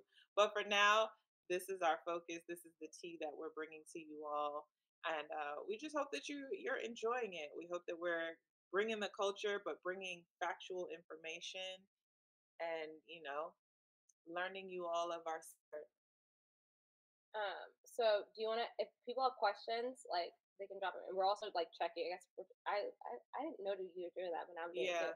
I, I Um, got I got a couple of messages like, "What are you doing? Why are you in your?" kid-" I'm trying to see what you guys are saying because I want to make sure that we're we're keeping you guys happy. So for the last like five minutes, you want to like answer some questions? Sure, let's do it.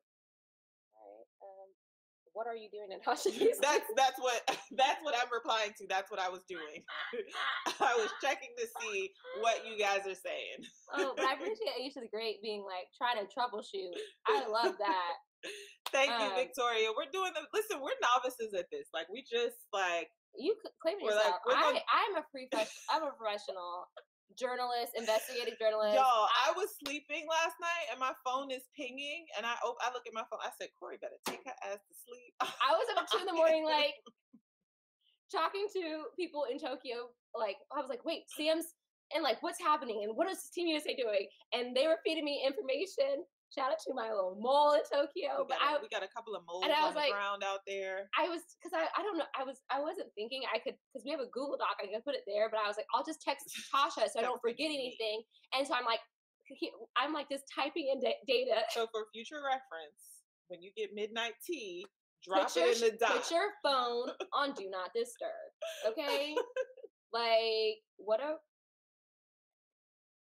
um okay they said someone asked but what about the people who had covid before don't they still have it like Dalilah English Gardner how does that work No, they don't still have it. So if you have had COVID, um, first of all, after 10 to 14 days, you're no longer um, contagious, is what they say. So I'm Mhm. not sure what Japan is doing in terms of that, but Oh, because there are there that. were people that were even testing positive like a month after having COVID, but at, supposedly after 14 days, you're no longer contagious. Give me a second. I, I have information on that. Um, so if you've had COVID before, you should technically be recovered or past that 14 days to then be out of quarantine and allowed to Yes. be in the village. And like, remember how I gave you guys the definition of close contact? Um, it's not only the 15 minutes closer than three beats with no mask, it's also during the time that you are contagious. So that's 48 hours before you get symptoms or a positive test until the Oh, time the end of your symptoms. That's I I, I misstated that. Yeah. Yeah, it's, You're right. it's the start. Yeah, it's, and um, until the time of the positive, th- that's the the range that they're saying that you can be um, contagious. And someone asked about is the opening news segment going to start? Um, I think so. Um, I feel like we try to. You like try- that flow? You like that flow? We we tried to do we try to And I can't guarantee like there's gonna be like a break breaking news. Like today was just like today was, today was a day. but I think we will try to start the show with some Tokyo news and like as we get into like competition, that the format of our show will change because we'll be talk about reporting about, the actual events happening in Tokyo.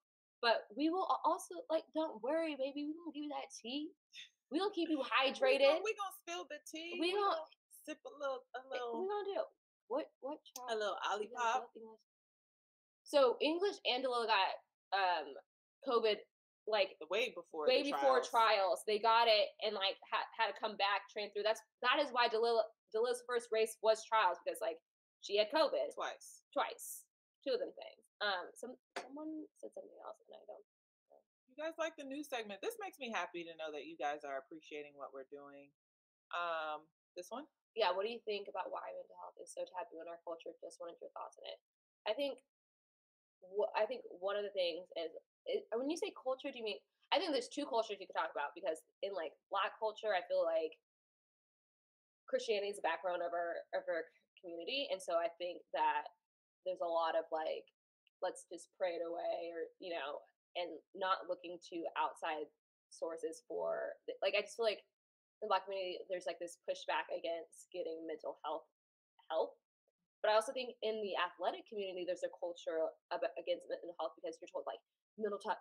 I always say this. It's so, so funny to me because like there's all this quotes like mental toughness is 99% of the game, and I tell athletes like but how much time do you actually spend on your mental health, on your mental toughness? Like you spend all this time those working on your things are body. also true, and that question is is actually my mission in terms of why I'm studying clinical mental health. Is that it is taboo in our Black communities, but also our athletic communities, and those are the two um, communities that is literally my mission and the the what they're doing. communities that I intend to impact. Um, the sports community, because we we joke and say that we're superheroes, but we are superheroes with but humans with issues, and our minorities. That, Mhm. as you so eloquently put, that you know a lot of us are rooted in Christianity, and a lot of it is also access. And because we Mhm. just don't have access to it, um, Or it's- professionals that look like us that professionals us. that look like us, it's hard to encourage something or believe in something that we don't even have the access to. Yesterday, I mentioned how someone said, you know, being depressed is a luxury. Like some of us, we just got to survive, you know. And so I, I'm, I'm um, aware that it's even a privilege for me to be able to access mental health Yeah. professionals because some people just can't afford it. And so I think a lot of it is yes, we're rooted in Christianity and we're rooted in it being um, sometimes, you know, voodoo or or that, but also there's just not much information out there about it, and what you don't know, Yeah. you can't tap into. And I- so and I think as like athletes, like I call myself the queen of compartmentalization. mhm. Like it is a skill, and it's probably not healthy, but like it works until it's gonna work until it doesn't work. But like I remember in college, I broke up with my boyfriend, and I told myself I scheduled when I was gonna cry about it because I was like, you have a physics piece set due tomorrow. You don't have time to cry about this. I'll, like you have to do your homework, and like you you get you you have time and we to feel later. normalize that. We normalize that a because lot. because here's the thing i'm not going to get a bad grade because of some guy But here's the thing. I'm gonna cry about it, but I'm gonna also get it done. yeah There's and like I, and and I will say i had an amazing practice because i ins- instead of dealing with things i just put it into i i killed that workout the next day um same, same. But we've now killed the time. yeah we we have hit two hours. i want to here's what i'm gonna do i because i see questions still rolling in and I, t- I told myself this in my sleep but if Come you over have to the Twitter and talk to us. Come to Twitter and talk Girl to us. Summer. and like Natasha on that, if you wa- I'll put a question box um on our IG. So if you guys want questions and we'll we'll try to get to them um either here question question of the day. We either get them in Instagram stories or on the show. Um but thank you guys so much for coming. This is a good show. Thank you me- for coming, co-host. I, I came here twice. I forgot, guys. I forgot my shoes. Drove all the way to Natas- Natasha's back. Came, came back for them. Um, let me pull up. We have an outro. Remember, guys? And I, we're trying to be official, y'all. I don't even see it now. We are Gosh newscasters. darn it. Here, I got Where is it? I Like, thank, it's, it's something like, thank you for coming to Track Girl Summer. Thank you for joining us today. Be sure to follow us. Us everywhere Twitter, IG, Facebook, follow Track Girl Summer on Instagram, YouTube, and now Twitter. And we'll see you guys tomorrow, same place, same time. And remember, no, no matter what time of the year it is, it's always Track Girl Summer. Track Girl Summer. Track Girl Summer. Bye, I hate y'all. it so much. I hate it so much. We had a good time today. I, did. I we love did, it. We I love it. that was a That was a bomb show.